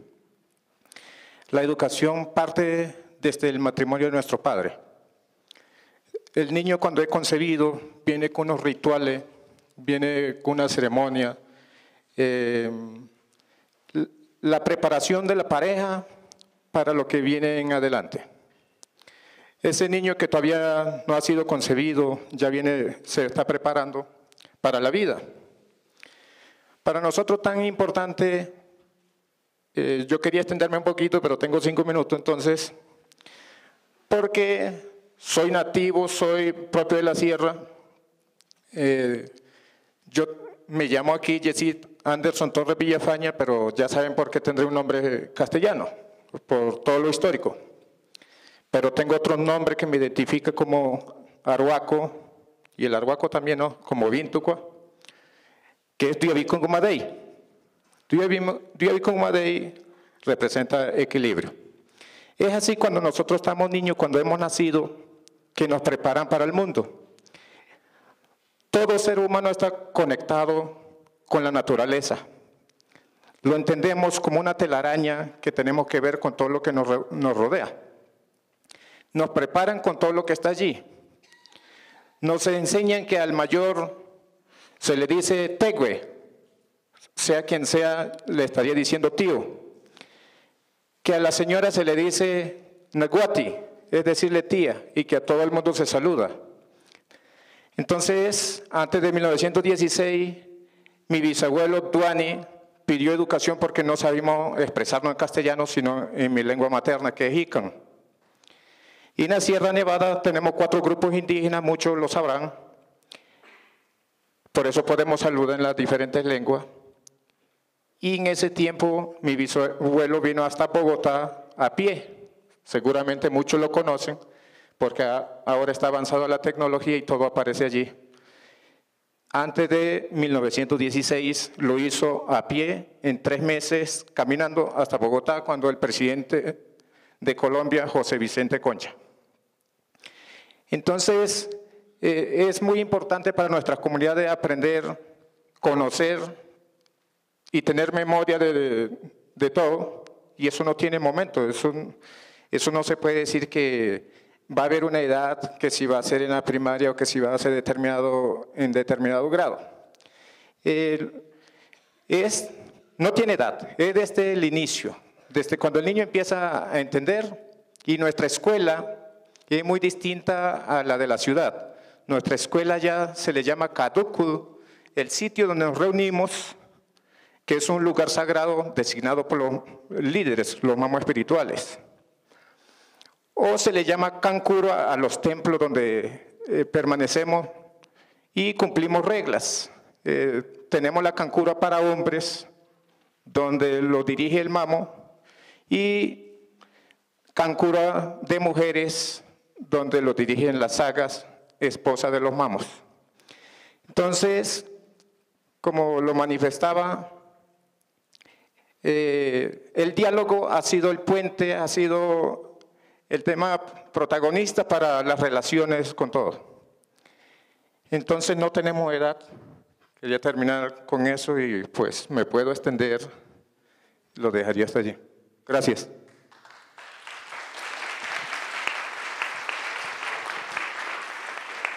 Bueno, buenas tardes.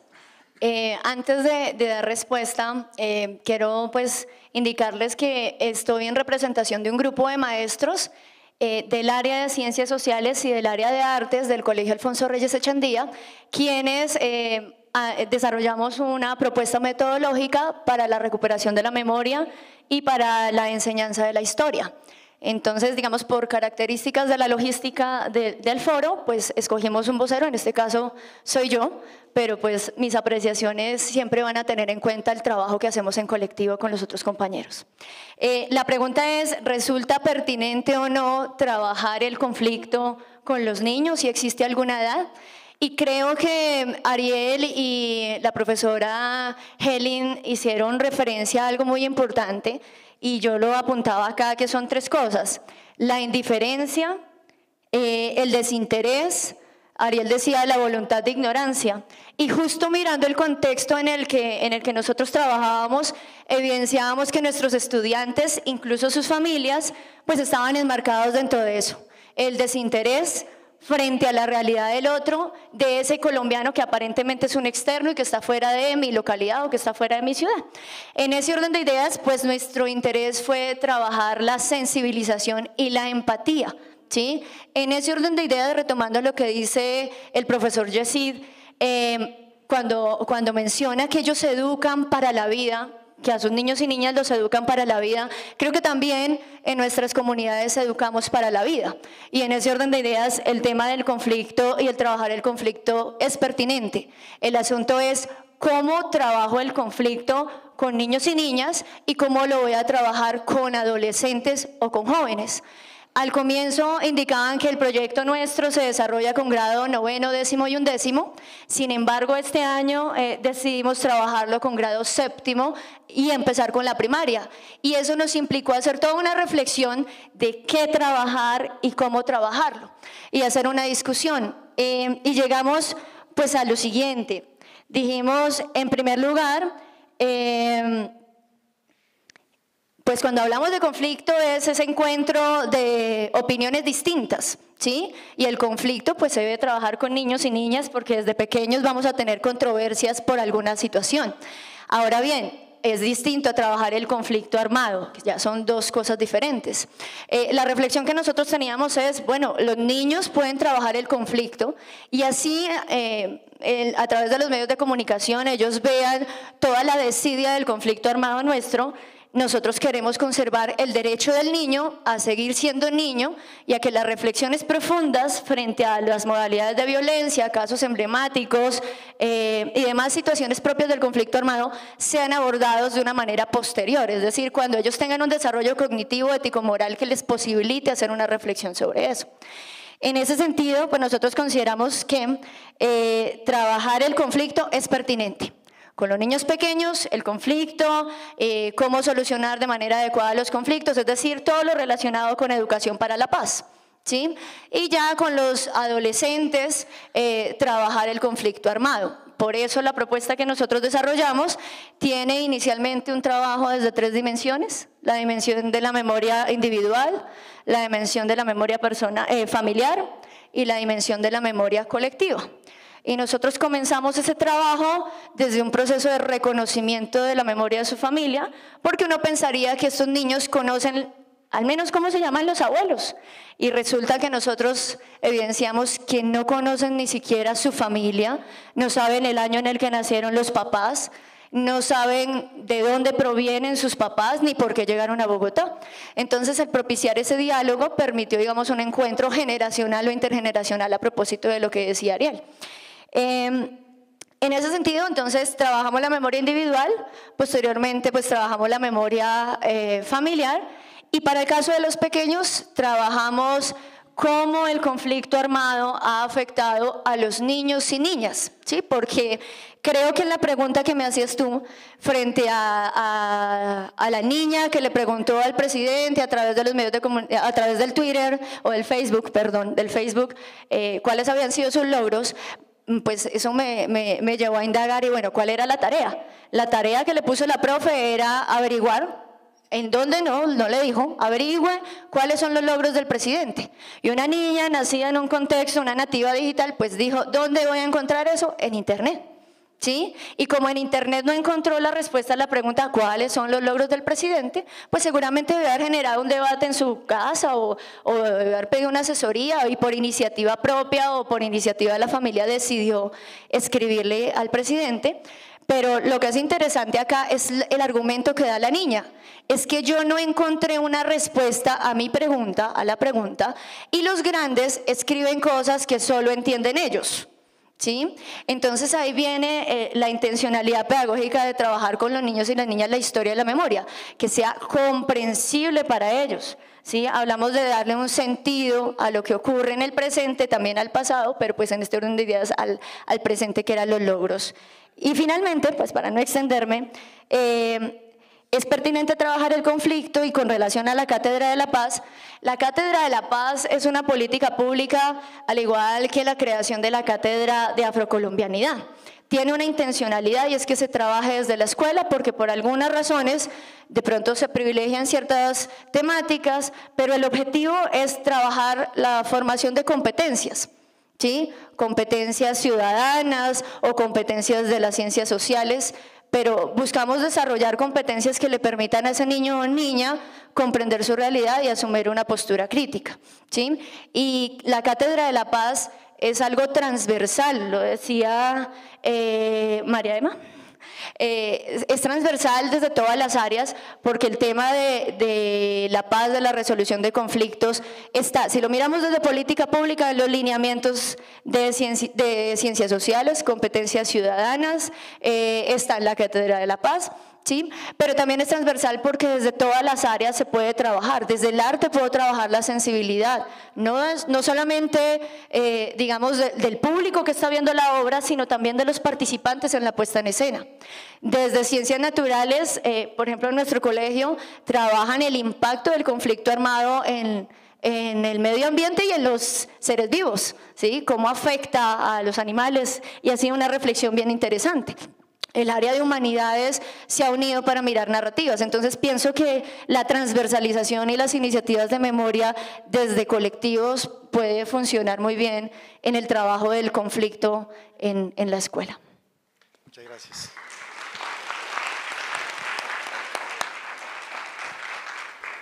Muy buenas tardes para todos y todas, a mis compañeros, colegas de, de mesa y agradecerle pues al profesor Ariel por esta invitación.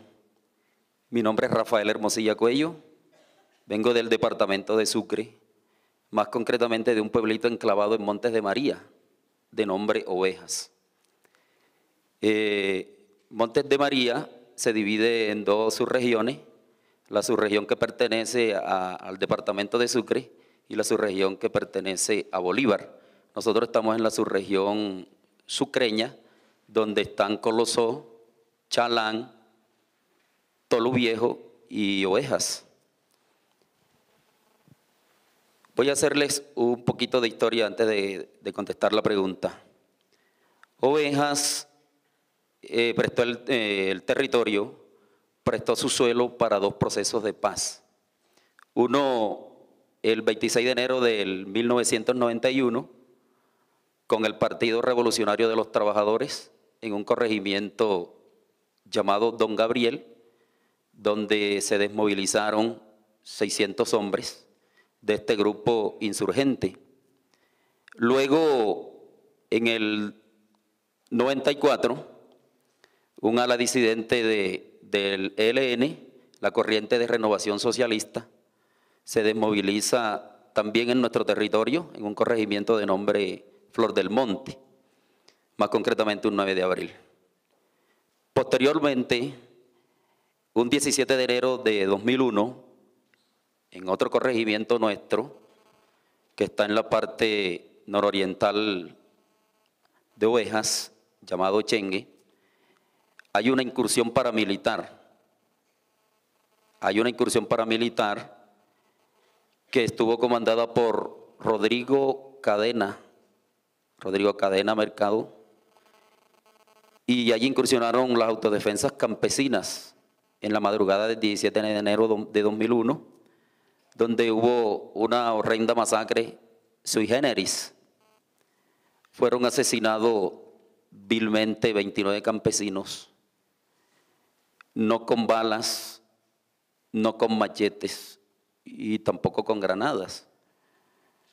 Eh, cogieron a la población, la rodearon y uno a uno iban llevando a las víctimas a la plaza de la población y allí pues los hacían arrodillar y con un mazo, un martillo de 25 kilos, le dejaban caer un golpe certero en la cabeza.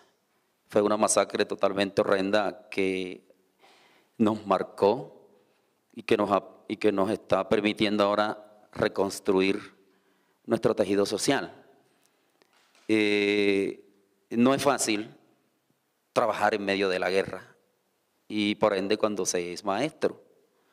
Ya yo tengo 30 años en el magisterio colombiano y todos los 30 años en oveja 15 años en zona rural y llevo 15 años en la zona urbana.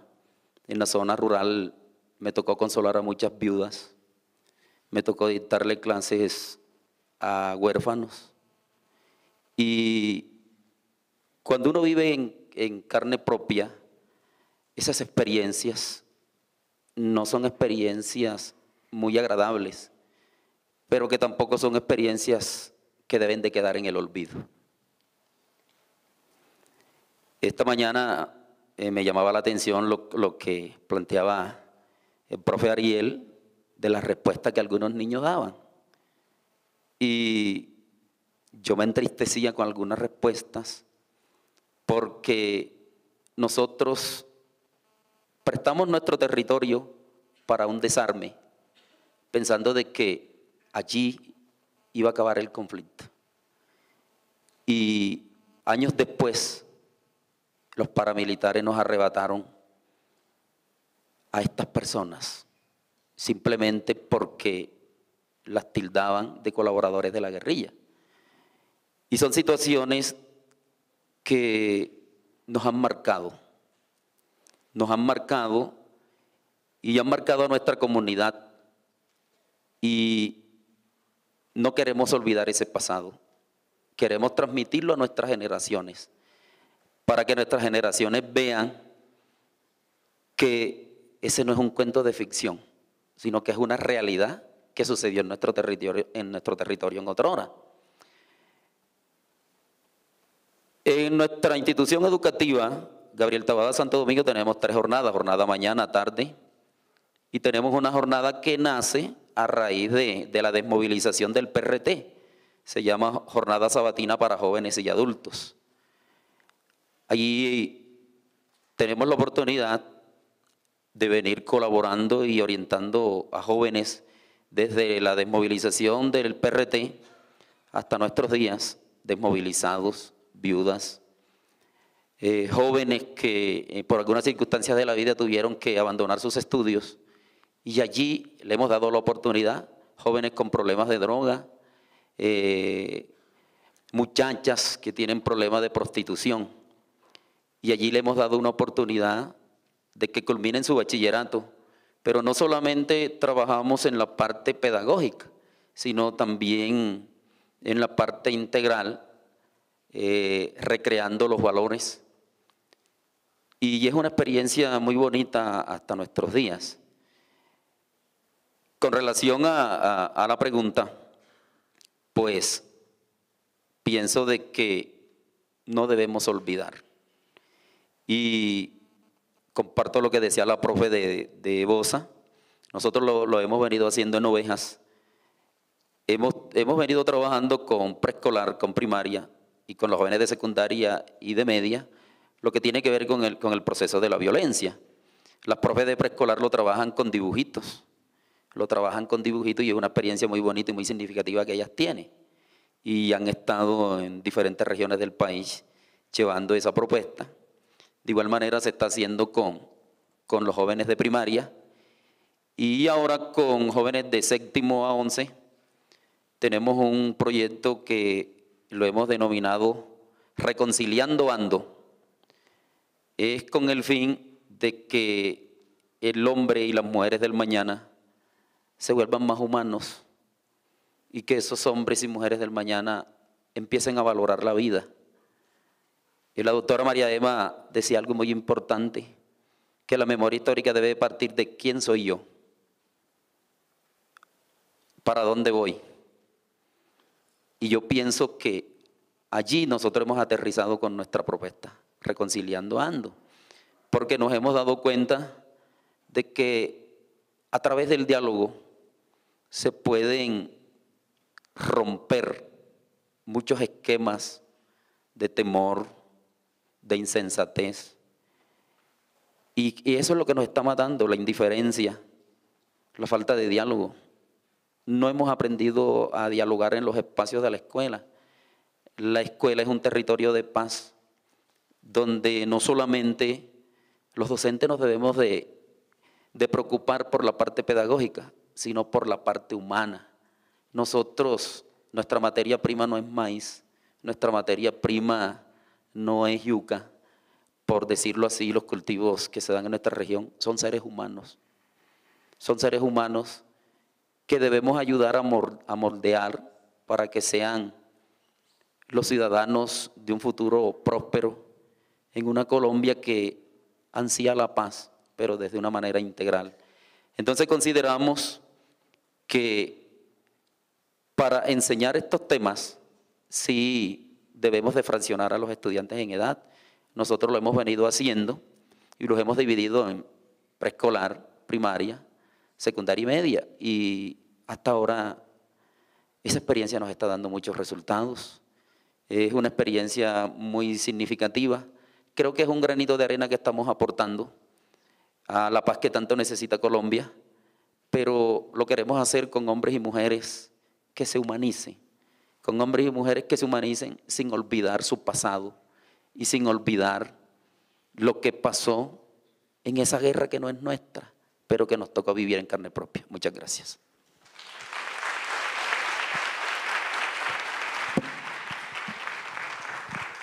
Bien, eh, muchas gracias profesores, profesoras la segunda parte, digamos, de, este, de esta iniciativa, de este diálogo, que me gustaría pudieran también un poco retomar, eh, así como lo han venido haciendo, las experiencias de sus compañeros para que se genere este espacio de diálogo. Me gustaría que pensáramos un poco desde, desde, el, desde esa responsabilidad que de alguna manera hemos visto o siempre vemos que le depositan a la escuela de ser de alguna manera los encargados a través de la memoria, a través, por ejemplo, de esta Cátedra de la Paz, como dice un compañero del Centro de Memoria, Paz y Reconciliación, cada vez que los políticos tienen un problema, se inventan una cátedra para resolverla, es decir, como si el problema fueran eh, incorporar e incorporar asignaturas dentro del currículo escolar. Eh, y de alguna manera hemos visto que, que estos, esta cátedra de la paz de alguna, es como esa apuesta del gobierno de que se enseñe la paz, como si la paz fuera un, un proceso que se pudiera evaluar curricularmente, eh, no da muchas pistas, como bien mencionaron algunos compañeros y compañeras. Eh, y sin embargo, ahí está como un mandato de ley que desde el primero de enero del 2016 todos los colegios deben incorporar en sus currículos la Cátedra de la Paz, pero los colegios ni siquiera están dispuestos en muchas oportunidades o no están en condiciones de implementarlo y lo que hacen es al profesor de pronto más entusiasta, como seguramente es el caso, la profesora más entusiasta es, usted que le gustan esos temas, ¿por qué no trabaja la Cátedra de la Paz? ¿no? Poco más o menos, eh, ese es como la reestructuración educativa en los colegios, pero no se repiensan y siguen siendo los espacios verticales en donde los profesores deben entregar y cumplir con unas responsabilidades eh, y evaluar y entonces se enseñe la paz, pero no genere condiciones propias. Me gustaría eh, que habláramos un poco de eso y también, eh, de manera un poco, esperando que sea provocadora la, la, la, pregunta, eh, la profesora Elizabeth Jailey nos comentaba al comienzo, o nos decía, que de alguna manera, no por enseñar o trabajar más la memoria, estamos garantizando que efectivamente se garantice la no, la, no repetición. No estamos garantizando o no, se, o no se puede por trabajar mucha memoria desestructurar o desarmar las condiciones que hicieron posible o que hacen posible que exista la violencia, incluso entre los mismos estudiantes. Eh, y por otro lado, hay una frase eh, de George Santayana que es casi eh, un mandato para quienes trabajan este, estos temas, y es que quienes no conocen su pasado están condenados a repetirlo. es algo como que, como que se asume como una verdad. Eh, quisiera saber de, de manera puntual ustedes cómo se ubicarían, si consideran que, que son conscientes que enseñar la memoria no necesariamente garantiza eh, que no se sigan repitiendo estos hechos, o si por el contrario eh, estamos en una posibilidad de poder garantizar la no repetición a través de la enseñanza o la incursión de estos temas en el aula. Eh, me gustaría entonces que comenzáramos con, con Diana Fique, que siguiera el profesor Rafael, eh, luego Diana Beltrán y terminar el profesor Yesid. Bueno, voy a comenzar por, por la, afirmación de que si trabajamos memoria no necesariamente se garantiza la, no repetición. Eh, voy a comenzar diciendo, eh, la profesora Helen decía, en Argentina es el nunca más, en Colombia es el basta ya. Y ahí ya hay una diferencia. Eh, el basta ya me genera, me suscita y me corregirán los de centro de memoria. Pues terminemos, terminemos. ¿sí? Basta ya. Y bueno, ¿y cuál es la noción de futuro? Pensaría yo. Eso es lo que me, suscita. Em, el que no tengamos, digamos, eh, eh, esa posibilidad de, garantizar a futuro que los estudiantes o que las personas sean ciudadanas críticas es algo que se sale de nuestro control y que no lo podemos determinar. ¿Sí? Eh, decía la profesora Helen y decía Ariel, el futuro es incierto. Y en esa medida, pues no, no, pensemos en qué van a hacer nuestros estudiantes y que necesariamente van a ser ciudadanos críticos, sino qué estamos haciendo en el presente por contribuir a esa construcción de futuro. ¿Sí? Y creo que el profesor Rafael decía algo muy valioso desde la experiencia de un maestro que trabaja en una zona de conflicto que para nosotros, los profes que estamos en la ciudad, es muy significativa. Y decía, es que nosotros queremos que no se olvide. Y de pronto eh, esa afirmación hizo eco em, cuando analizo el contexto de nuestro colegio, cuando miramos y haciendo un análisis de las, de las memorias familiares, vemos que en nuestro colegio hay estudiantes víctimas del conflicto armado, víctimas directas, pero hay estudiantes que no, aparentemente no han sido víctimas del conflicto. Y, y los ejercicios de memoria que se desarrollan en la escuela permiten abordar tres aspectos que mencionaba eh, Ariel al comienzo y es sanar.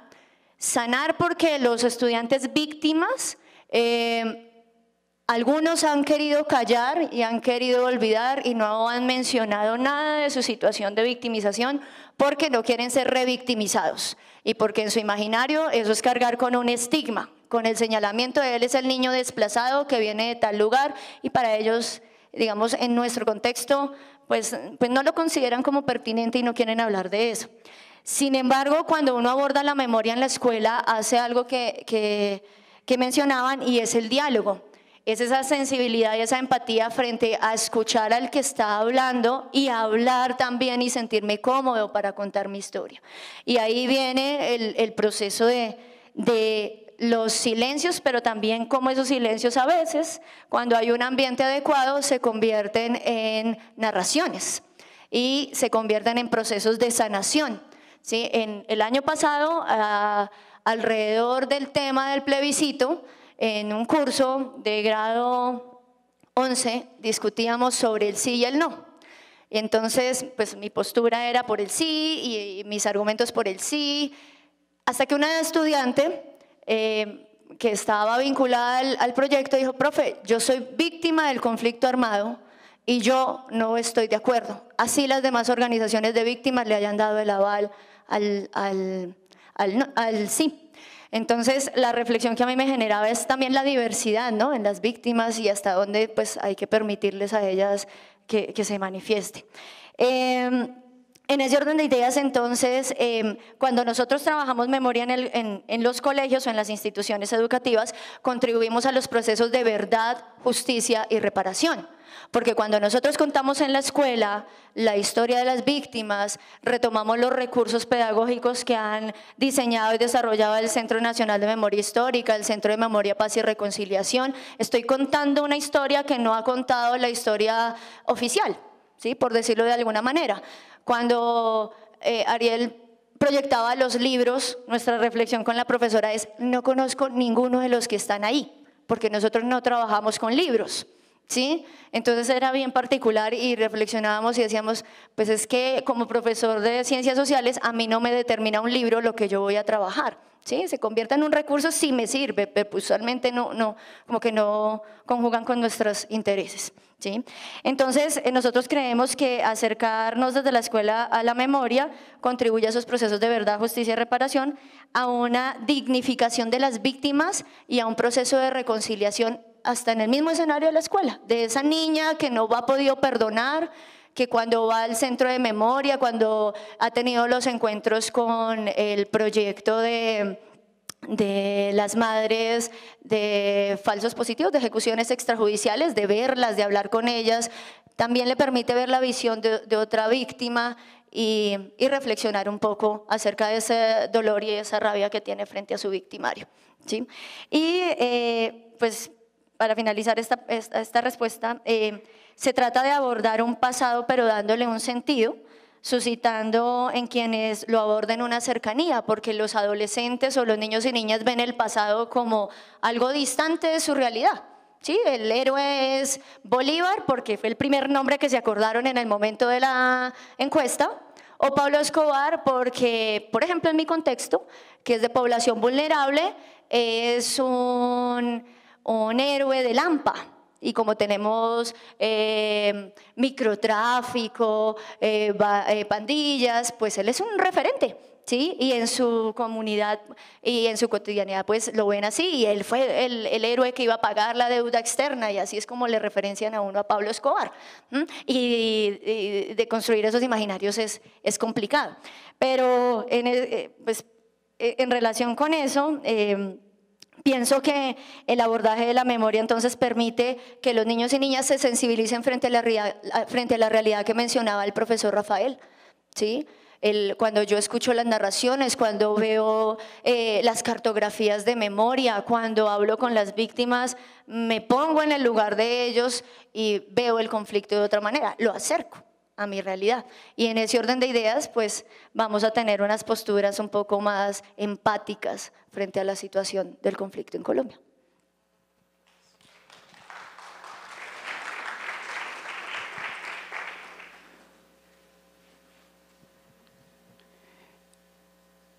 El, el pensador norteamericano Santayana expresa, aquellos que no recuerdan el pasado están condenados a repetirlo. Es una frase y un pensamiento que nos pone a nosotros a repensar. La pregunta, ¿ustedes creen que la memoria y su abordaje desde el aula ratifique la afirmación del pensador norteamericano y, cómo son esas experiencias nuestras en la escuela? Yo pienso de que a nuestros estudiantes hay que decirles la verdad, yo lo planteaba en la primera pregunta, del el pasado que, que le circundó a ello, sin decirles de que hubieron héroes que marcaron nuestra historia como Bolívar, como Policarpa, y también decir la verdad de otros héroes, entre comillas, como Escobar, y que fueron otro tipo de héroes en el país y que aportaron un grano de, de arena para la guerra que tenemos o para la guerra que hemos vivido. Y no desconocer cómo surgen los grupos armados al margen de la ley en Colombia y cómo surge el aparato paramilitar y que por qué en diferentes puntos del país se vivieron esos enfrentamientos. Yo he hablado con personas que dicen, es que los paramilitares en mi zona eran bien, porque nos dejaban comida. Y fíjense, y hay otros que dicen, no, pero es que la guerrilla también en mi zona era bien, porque también me dejaban comida. Y ahí hay un contraste que yo lo comentaba con Michelle eh, cuando íbamos a la hora del almuerzo. Son situaciones que nos ponen a nosotros a pensar. Y pienso que nosotros no debemos de olvidar el pasado, pero sí hay que ayudar a nuestros estudiantes a recordar y a reconstruir ese tejido social, porque hay algunos jóvenes que están desesperanzados, hay algunos jóvenes que tienen en su corazón odio, rencor, porque tal vez las viudas o tal vez sus hermanos, sus abuelos, no han perdonado. Esta es una situación que tiene que nacer desde nuestro corazón, el perdón. Porque si perdonamos de labios hacia afuera, no estamos haciendo nada. Y en la escuela nosotros tenemos que inducir a nuestros chicos y a nuestras chicas que hay que perdonar, porque si no perdonamos, no vamos a, a vivir un futuro próspero. Por lo menos en, en nuestra institución, nosotros llevamos situaciones del contexto cuando vamos a iniciar una clase. Situaciones de la realidad nuestra para encajar en la clase. No es fácil, pero sí vemos que eso nos está dando resultados. Y nos está dando resultados porque allí estamos enseñando a los jóvenes, a los chicos y a las chicas, que no deben olvidar su pasado, pero que hay que perdonar. Muchas gracias.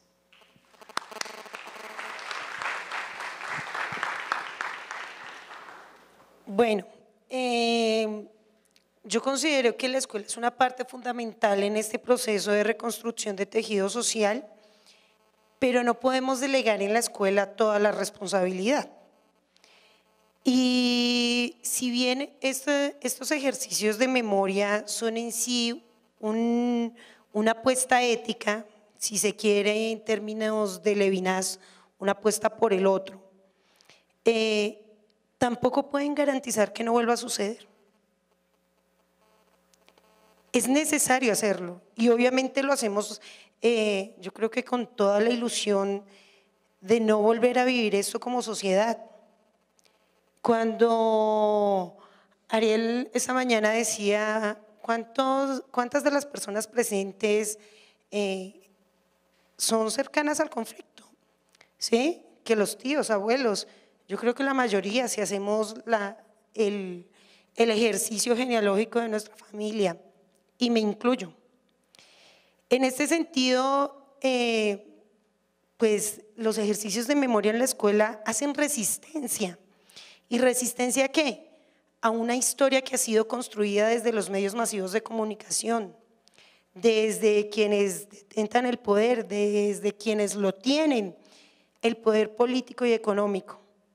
En este sentido, eh, los ejercicios de memoria llevan otras voces, no contadas, silenciadas, ocultas, que buscan, obviamente, que, que los chicos creen propuestas críticas y se asuman como sujetos críticos. Ese es el objetivo. Sin embargo, eh, tendría que, decir que uno hace todo ese esfuerzo en la escuela y, y se casa con el discurso, pero uno dice, bueno, cátedra, cátedra de la paz en torno a la cultura de paz, hoy es primero de marzo y al día de hoy tenemos 22 líderes sociales asesinados, 60 días del año. En el 2016 fueron 100. Entonces yo digo, estamos hablando de cultura de paz cuando el Estado no cumple con su parte, no cumple con lo que le corresponde. Y en este sentido, no sé hasta dónde eh, podamos lograr esto como sociedad. Hablamos de Cátedra de la Paz, Educación para la Paz, y ahí hablan de pluralidad. Y yo digo, todavía tenemos escuelas donde el corte de cabello de los chicos es, es un motivo de sanción. Entonces, ¿de qué escuela estamos hablando? Hablamos de, de, una escuela, de una cátedra de la paz que apoye todo el desarrollo sostenible cuando todas las decisiones económicas van en contravía a esto. Entonces, pues eso lo pone a uno a reflexionar, ¿no? Hay un abismo entre esas dos cosas y coincido con que proliferan cátedras, ¿no? Según la necesidad del momento político. Pero ¿cuántas se aplican realmente? La compañera Diana decía, es una oportunidad, claro, pero de todos los colegios del país, ¿cuántos colegios pueden trabajar colectivamente en un proyecto? ¿Cuántos? Entonces, pues ahí, ahí dejo esas reflexiones.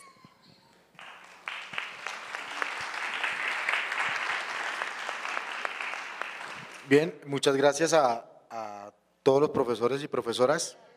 Ah, perdón. Tiempo. Eh, de nuestra, desde nuestra visión indígena, eh, tengo que respetar mi, mis normas tradicionales y, y, eso vengo a traer acá. Pues la Sierra Nevada ha vivido eh, muchos conflictos ideológicos por grupos armados. La guerra de Colombia también se tuvo que ver en la Sierra Nevada. Eh, el que, la, presencia de los capuchinos en la Sierra Nevada fue algo que tuvo que ver cambiar nuestro mundo, nuestra forma de pensar, donde nuestros líderes fueron perseguidos.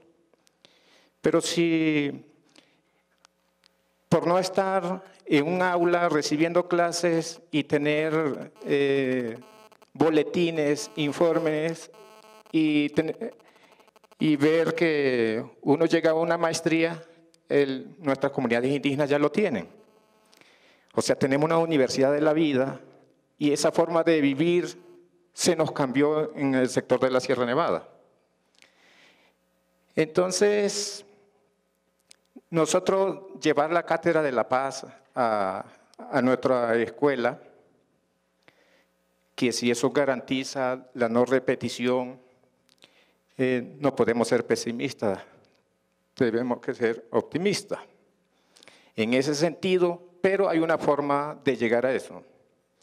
La forma de llegar es donde toda la comunidad educativa esté comprometida. Allí, eh, de, cualquiera de, lo, de cualquiera de los sectores sociales, ¿no? de todos los ámbitos. A mí me extraña que en la Sierra Nevada, imagínense, no tenemos luz, eh, no contamos con vehículos, no tenemos el bus, no tenemos semáforo. Y uno puede ver en la televisión el contraste que vive la ciudad. Yo paso frío allá arriba, pero el frío de aquí es distinto. El frío de aquí de pronto tiene más humo y tiene más cosas. Yo allá me saludo con cualquiera, aquí de pronto no me puedo parar un ratico, me pueden llevar o alguna cosa, ¿no? ¿Cierto? Entonces, eh, llegar a tejer, porque nosotros siempre hablamos de los tejidos y por eso en la Sierra Nevada los hombres cumplimos nuestras normas, el tejido, el de la manta lo hacen los hombres, las mujeres hacen otro tipo de tejido, los sombreros lo tejemos nosotros, entonces guardamos, conservamos nuestras normas. Pero la contribución a este proceso debemos ser todos. Y cuando yo decía que nos, nos preparamos para la vida, no quiere decir que se dijo un momento y ya. Hay una secuencia, hay una orientación permanente y debe ser desde los grados y comparto de que no estamos preparados, ya, ya no tenemos, tenemos que diseñar el currículo para, para, esta, para este tema y debe ser transversal. Debemos estar involucrados todos, no solo el que maneja humanidades o ciencias sociales, pues ahí estamos comprometidos desde todas las áreas. De pronto alguien, el más avispado, puede decir, no, como usted maneja eso o como usted se la tira que maneja, entonces vas a trabajar allí, ¿cierto? Entonces ahí estamos comprometidos todos y hablar del, del conflicto. De esta forma nos estamos preparando para lo que viene. Nosotros tuvimos un pasado que debemos conocerlo y estamos viendo el presente y el futuro. Por lo menos en la Sierra Nevada tuvimos atropellos ideológicos cuando ya hablaba de la misión capuchina, que en 1982 hubo una toma capuchina donde participaron, le decimos Bunachi a los no indígenas que nos colaboraron, o sea, Bunachi quiere decir no indígena, en mi lengua, o como los guibas de pronto eh, se le dice Santalo, quiere decir no indígena, y en Coque se le dice Yale, también es lo mismo, no indígena. Entonces nos colaboraron y aunque tenemos un poco la educación en nuestras manos, nosotros vemos con preocupación de que muchos saberes propios, muchas, eh, muchos temas de fortalecimiento cultural no se nos tienen en cuenta, por lo menos en las pruebas, y eso no aparece. Pero ¿cómo llegar de que esto sí llegue allá? Y que los saberes propios de cada rincón de Colombia o de cada escuela de cada comunidad educativa esté eh, eh, reflejada en los textos propios de la comunidad. Entonces, por lo menos, a nosotros se nos invaden los sitios sagrados. Un templo arhuaco, ahí hay parte donde debe entrar solamente hombres, el otro es solo mujeres. Pero llega un grupo armado y puede armar una cocina allí porque vio un techo. Entonces, nosotros estamos viviendo a diario eso. Hace nada, el gobierno está hablando del proceso de paz, pero ya hay grupos armados en nuestro territorio que son invasores y que, ¿cómo nos vamos a preparar con ellos? Que si el indígena protesta, entonces ellos se ven obligados a quemar todo un pueblo. En, fin, estamos viviendo eso, ¿no? Entonces, por eso, la invitación es a que ahí sí tenemos que participar todos los sectores, me imagino políticos, eh, comunidad educativa debe estar representada por todos los eh, por todos los grupos sociales. Y quería invitar también, o traería una frase que dijo mi papá en estos días, eh, es que en muchos sectores existe más la politiquería y no hay unas políticas claras. Entonces aquí nos hace falta ir trabajando para allá. Duni, gracias.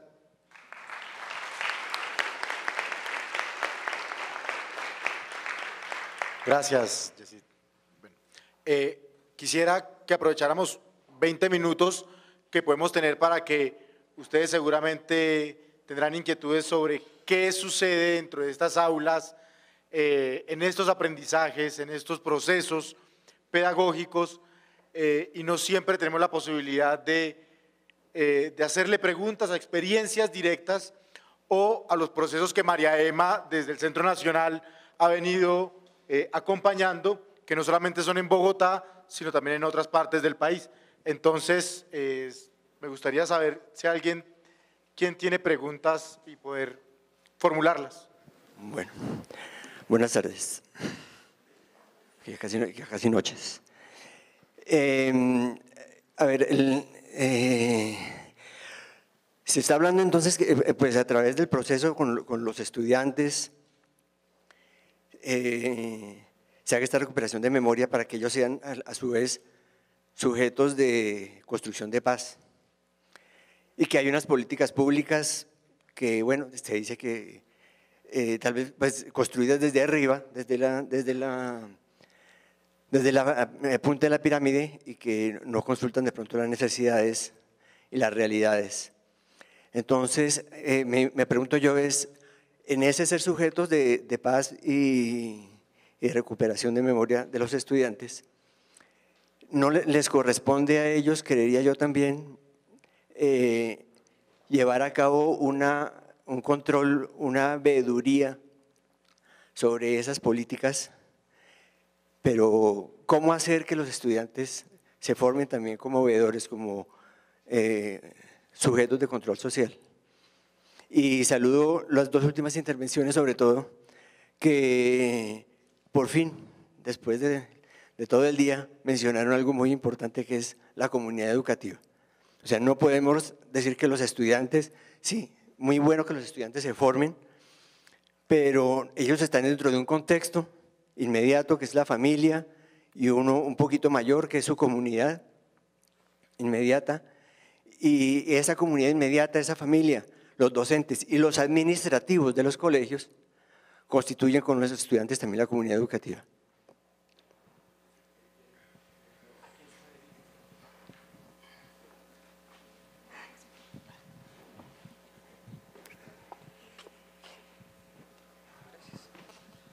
Buenas tardes a todos y todas. Eh, mi pregunta es en general a todos los panelistas.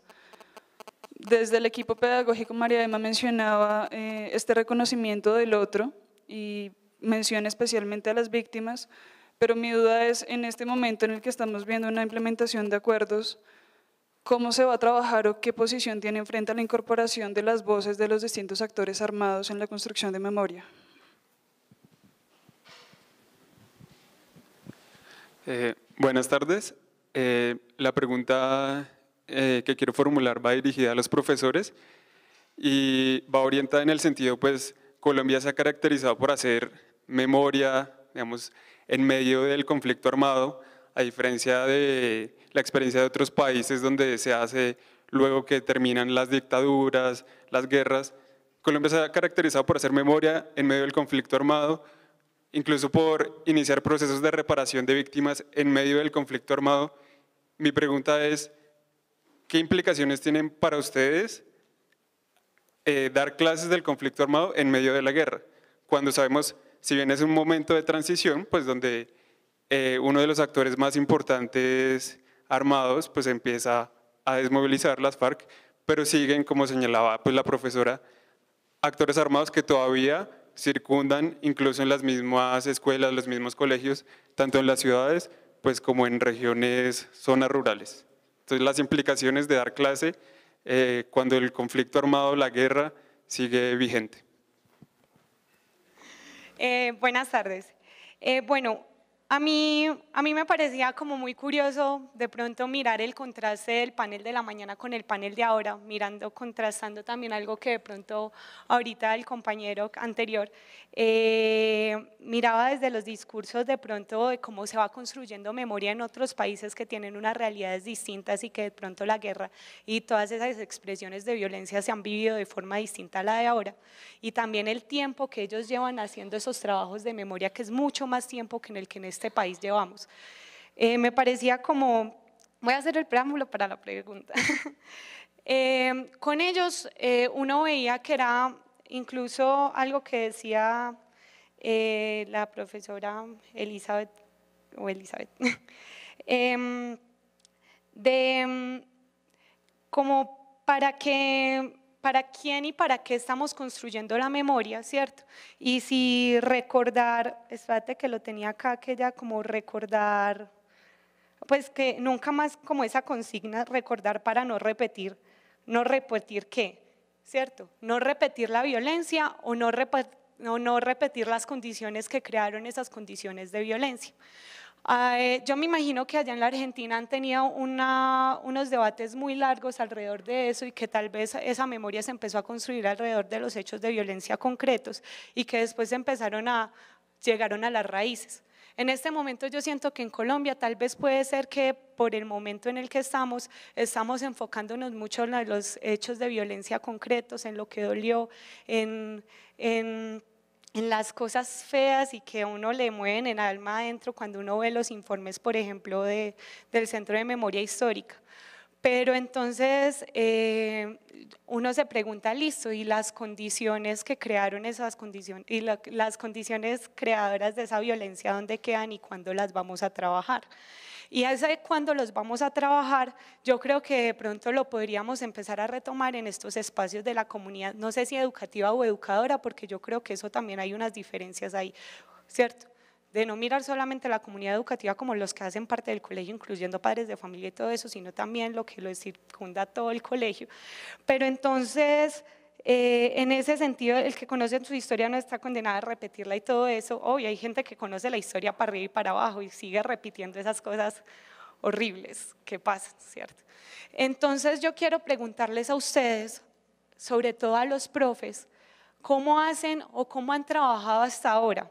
O si no lo han trabajado de pronto porque no lo han hecho, la reflexión crítica de las condiciones que han creado esos espacios de violencia y que de pronto eh, no son tan lejanas de la ciudad y el campo.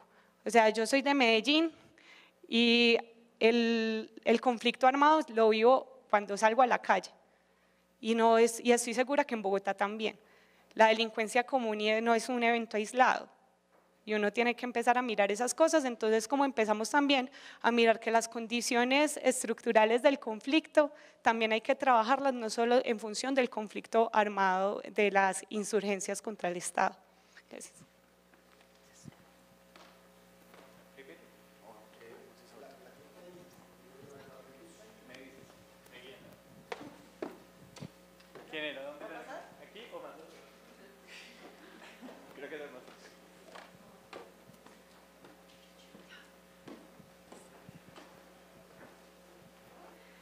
Gracias. Eh, buenas tardes. En la mañana veíamos cómo eh, el aprendizaje del conflicto se da a través de diferentes agentes, no solamente la escuela, sino también los medios de comunicación, la familia, em, las iglesias, incluso los espacios de memorialización, los museos, centros de memoria. En esa medida, eh, creo que como agentes educadores, aunque no, no lo pretendan, pueden ser eh, como sectores que se pueden invitar al seminario. Y mi pregunta iría enfocada a cómo ustedes como docentes se están relacionando con, e, con estos otros ámbitos o sectores, con la familia, los medios de comunicación, las iglesias, los lugares o centros de memoria, eh, para entender eh, la educación también en un sentido expandido.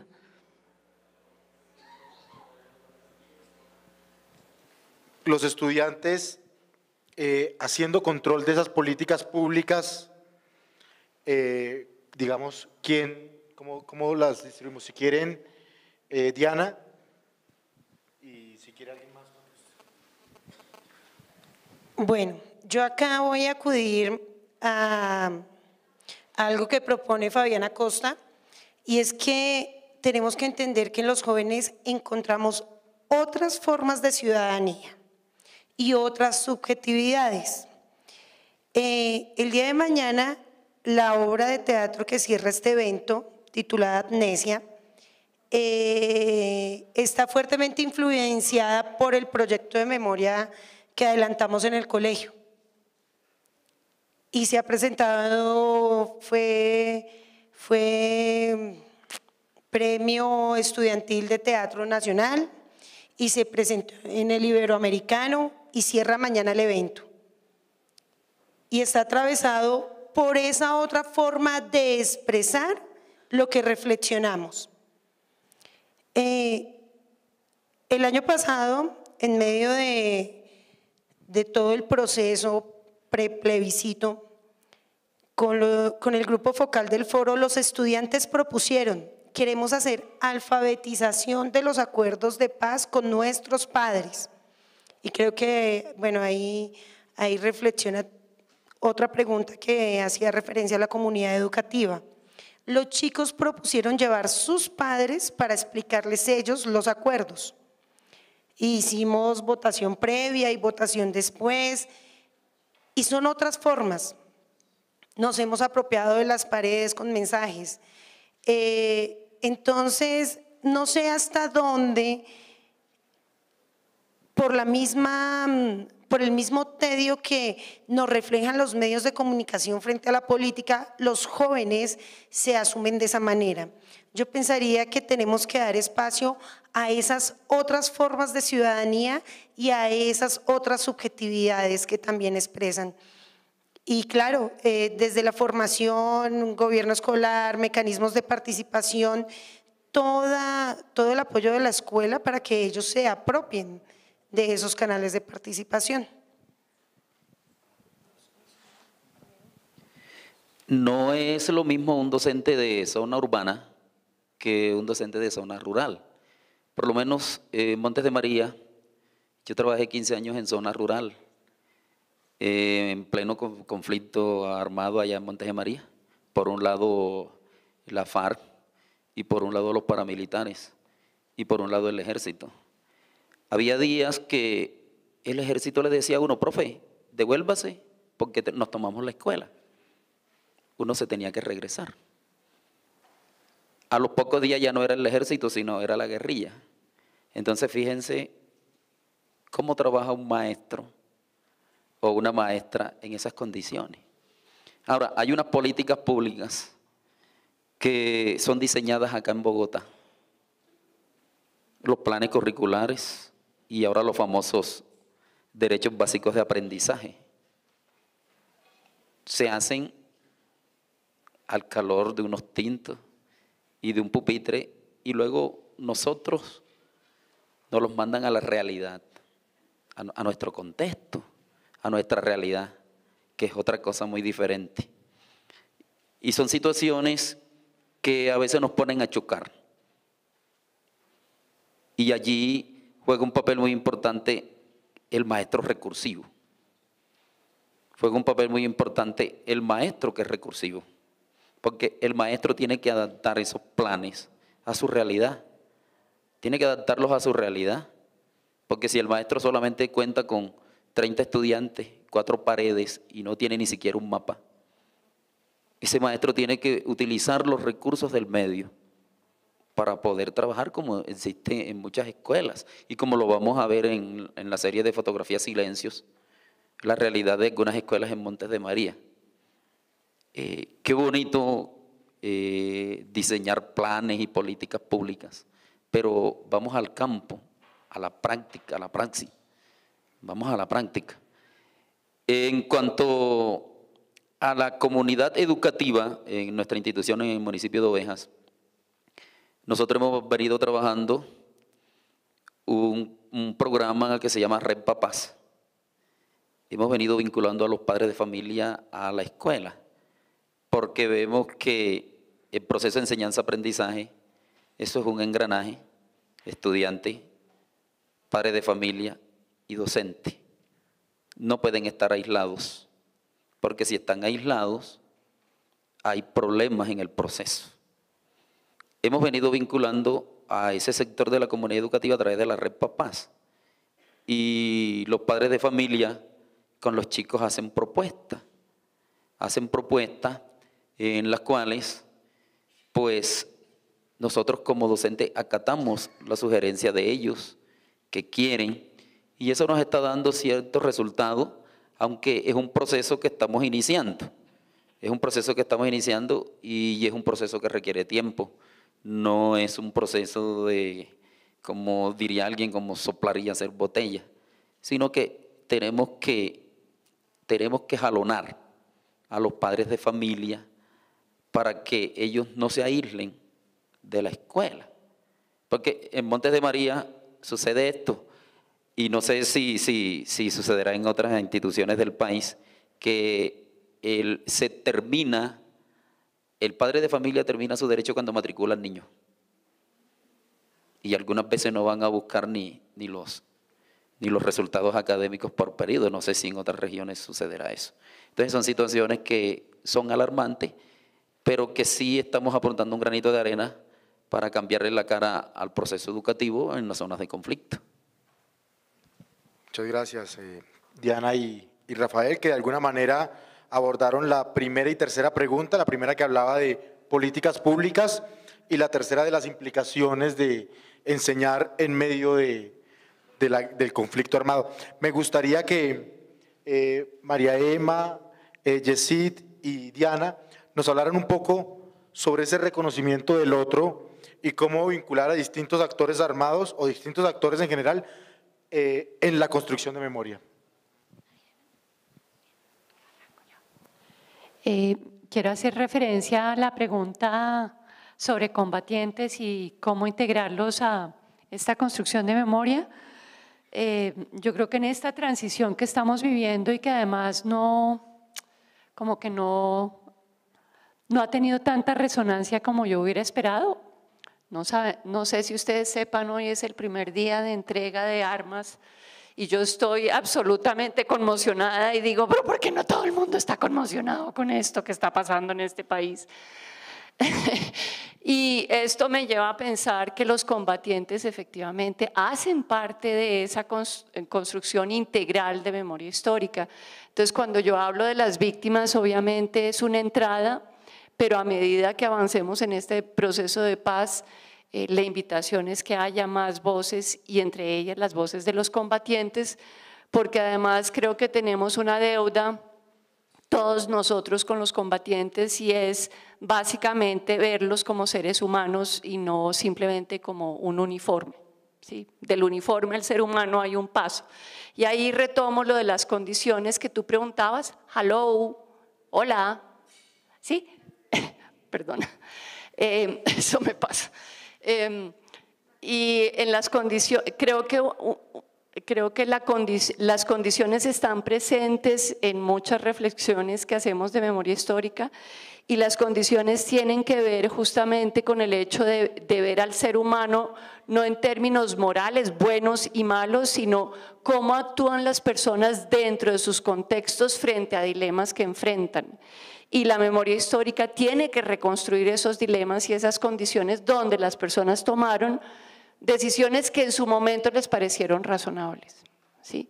sin enjuiciar. Creo que hay un momento donde uno tiene que aproximarse a esa reconstrucción de memoria histórica más eh, con la curiosidad de conocer esas condiciones y juzgar las condiciones y no las personas que tomaron esas decisiones. No sé si queda muy claro, pero efectivamente creo que bienvenidos los combatientes y sus memorias en el campo de la memoria histórica. Bueno, em, con relación al reconocimiento del otro, em, como decía María Emma, em, estamos en el proceso de, de, la primera parte que fue reconocer a las víctimas y ahora los que estamos acá en la escuela urbana, eh, pues estamos eh, en mi caso o en nuestro caso, estamos es como la expectativa de a través de qué mediadores vamos a poder acceder a los relatos de los actores armados. Porque en nuestra comunidad educativa hay desmovilizados del paramilitarismo o de las guerrillas, pero ellos no quieren hablar. ¿Sí? Y nosotros somos respetuosos. En alguna oportunidad hicimos un ejercicio donde les preguntamos si querían vincularse al proyecto y manifestaron que no estaban interesados por razones de seguridad, porque no querían como repetir esa, esa parte de su vida que ya habían dejado atrás. Entonces, eh, digamos que la oportunidad que nos queda en este momento es en las zonas de desmovilización, en, en, en esos lugares, cómo se van a generar unas políticas de memoria que lleguen a las ciudades que nosotros desde las escuelas urbanas podamos acceder a ellas. Eh, con relación a la pregunta que tú hacías de las condiciones que generaron eh, el conflicto armado en Colombia, en, la experiencia que nosotros tenemos, nosotros comenzamos abordándola con una pregunta que llevó un practicante de la Universidad Pedagógica, quien estaba desarrollando una, una propuesta de intervención pedagógica en el colegio, y era, él le preguntaba a los estudiantes y a los profesores, profes, ¿qué es la paz? ¿Cierto? Y con eso empezamos a trabajar las eh, causas del conflicto, porque la paz no es la dejación de armas, y es llevar a que estos niños entiendan que la paz es la, generación de unas condiciones de igualdad, de participación, de democracia, y eh, pues eso derivó en que con los estudiantes trabajáramos la concienciación de su clase. Entonces, cuando nosotros hacíamos el ejercicio de decirles, ustedes son una población vulnerable y pobre, y ellos decían, no, jamás, nosotros no somos pobres, somos estrato 2, no tenemos servicios eh, eh, eh, públicos en algunos casos, mi mamá es vendedora ambulante, gana menos del salario mínimo, pero no soy pobre. ¿sí? Entonces, el abordar qué es la pobreza, eh, cómo se ha generado la situación de pobreza en Colombia, quién es la clase dirigente, por qué los sectores populares no han participado del, del gobierno, porque ellos nunca en la escuela, en nuestra escuela, no los han llevado a pensar en que pueden ser también gerentes del Estado, en que pueden también pensarse como ministros. Entonces, eh, las causas del conflicto se abordan desde, en primer lugar, desde la conceptualización de la paz, desde el análisis de las condiciones de pobreza y vulnerabilidad en la que ellos se encuentran y también ya desde el abordaje de, la, historia frente a las causas que ha tenido el, conflicto armado y particularmente enfatizamos en el tema de la tenencia de la tierra que es ajeno para ellos, pero que cuando ya examinan sus raíces se dan cuenta que muchos vienen del campo, que sus abuelos migraron, que sus papás migraron y que hubo unas condiciones que los llevaron a la migración, el desplazamiento forzado o simplemente que el, municipio del que ellos provenían pues no les ofrecía las condiciones, eh, digamos, para el mejoramiento de las condiciones de vida de las familias y deciden migrar. ¿Sí? Entonces, en, ese diálogo con los estudiantes, pues, por ejemplo, a un estudiante que eh, va de de Buenaventura nos dice, profe, yo me vine porque yo era el mejor estudiante del colegio, pero allá no habían opciones para entrar a la universidad. Entonces, eh, a partir de ese relato pudimos analizar cómo es la situación en diferentes regiones distintas a Bogotá.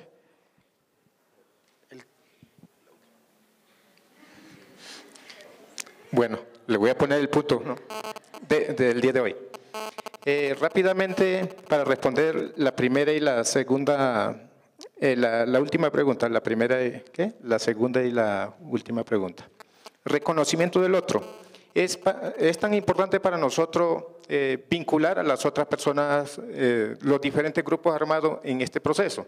Entonces, no, no, le tenemos aquí la negativa a esto, sino al contrario, involucrar a todos los sectores, buscar la estrategia eh, un poco compleja, pero no imposible. ¿no?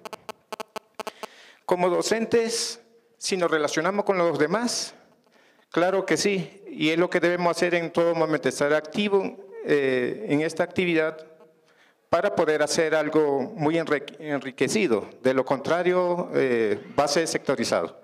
Entonces, es mi intervención hasta aquí, pues,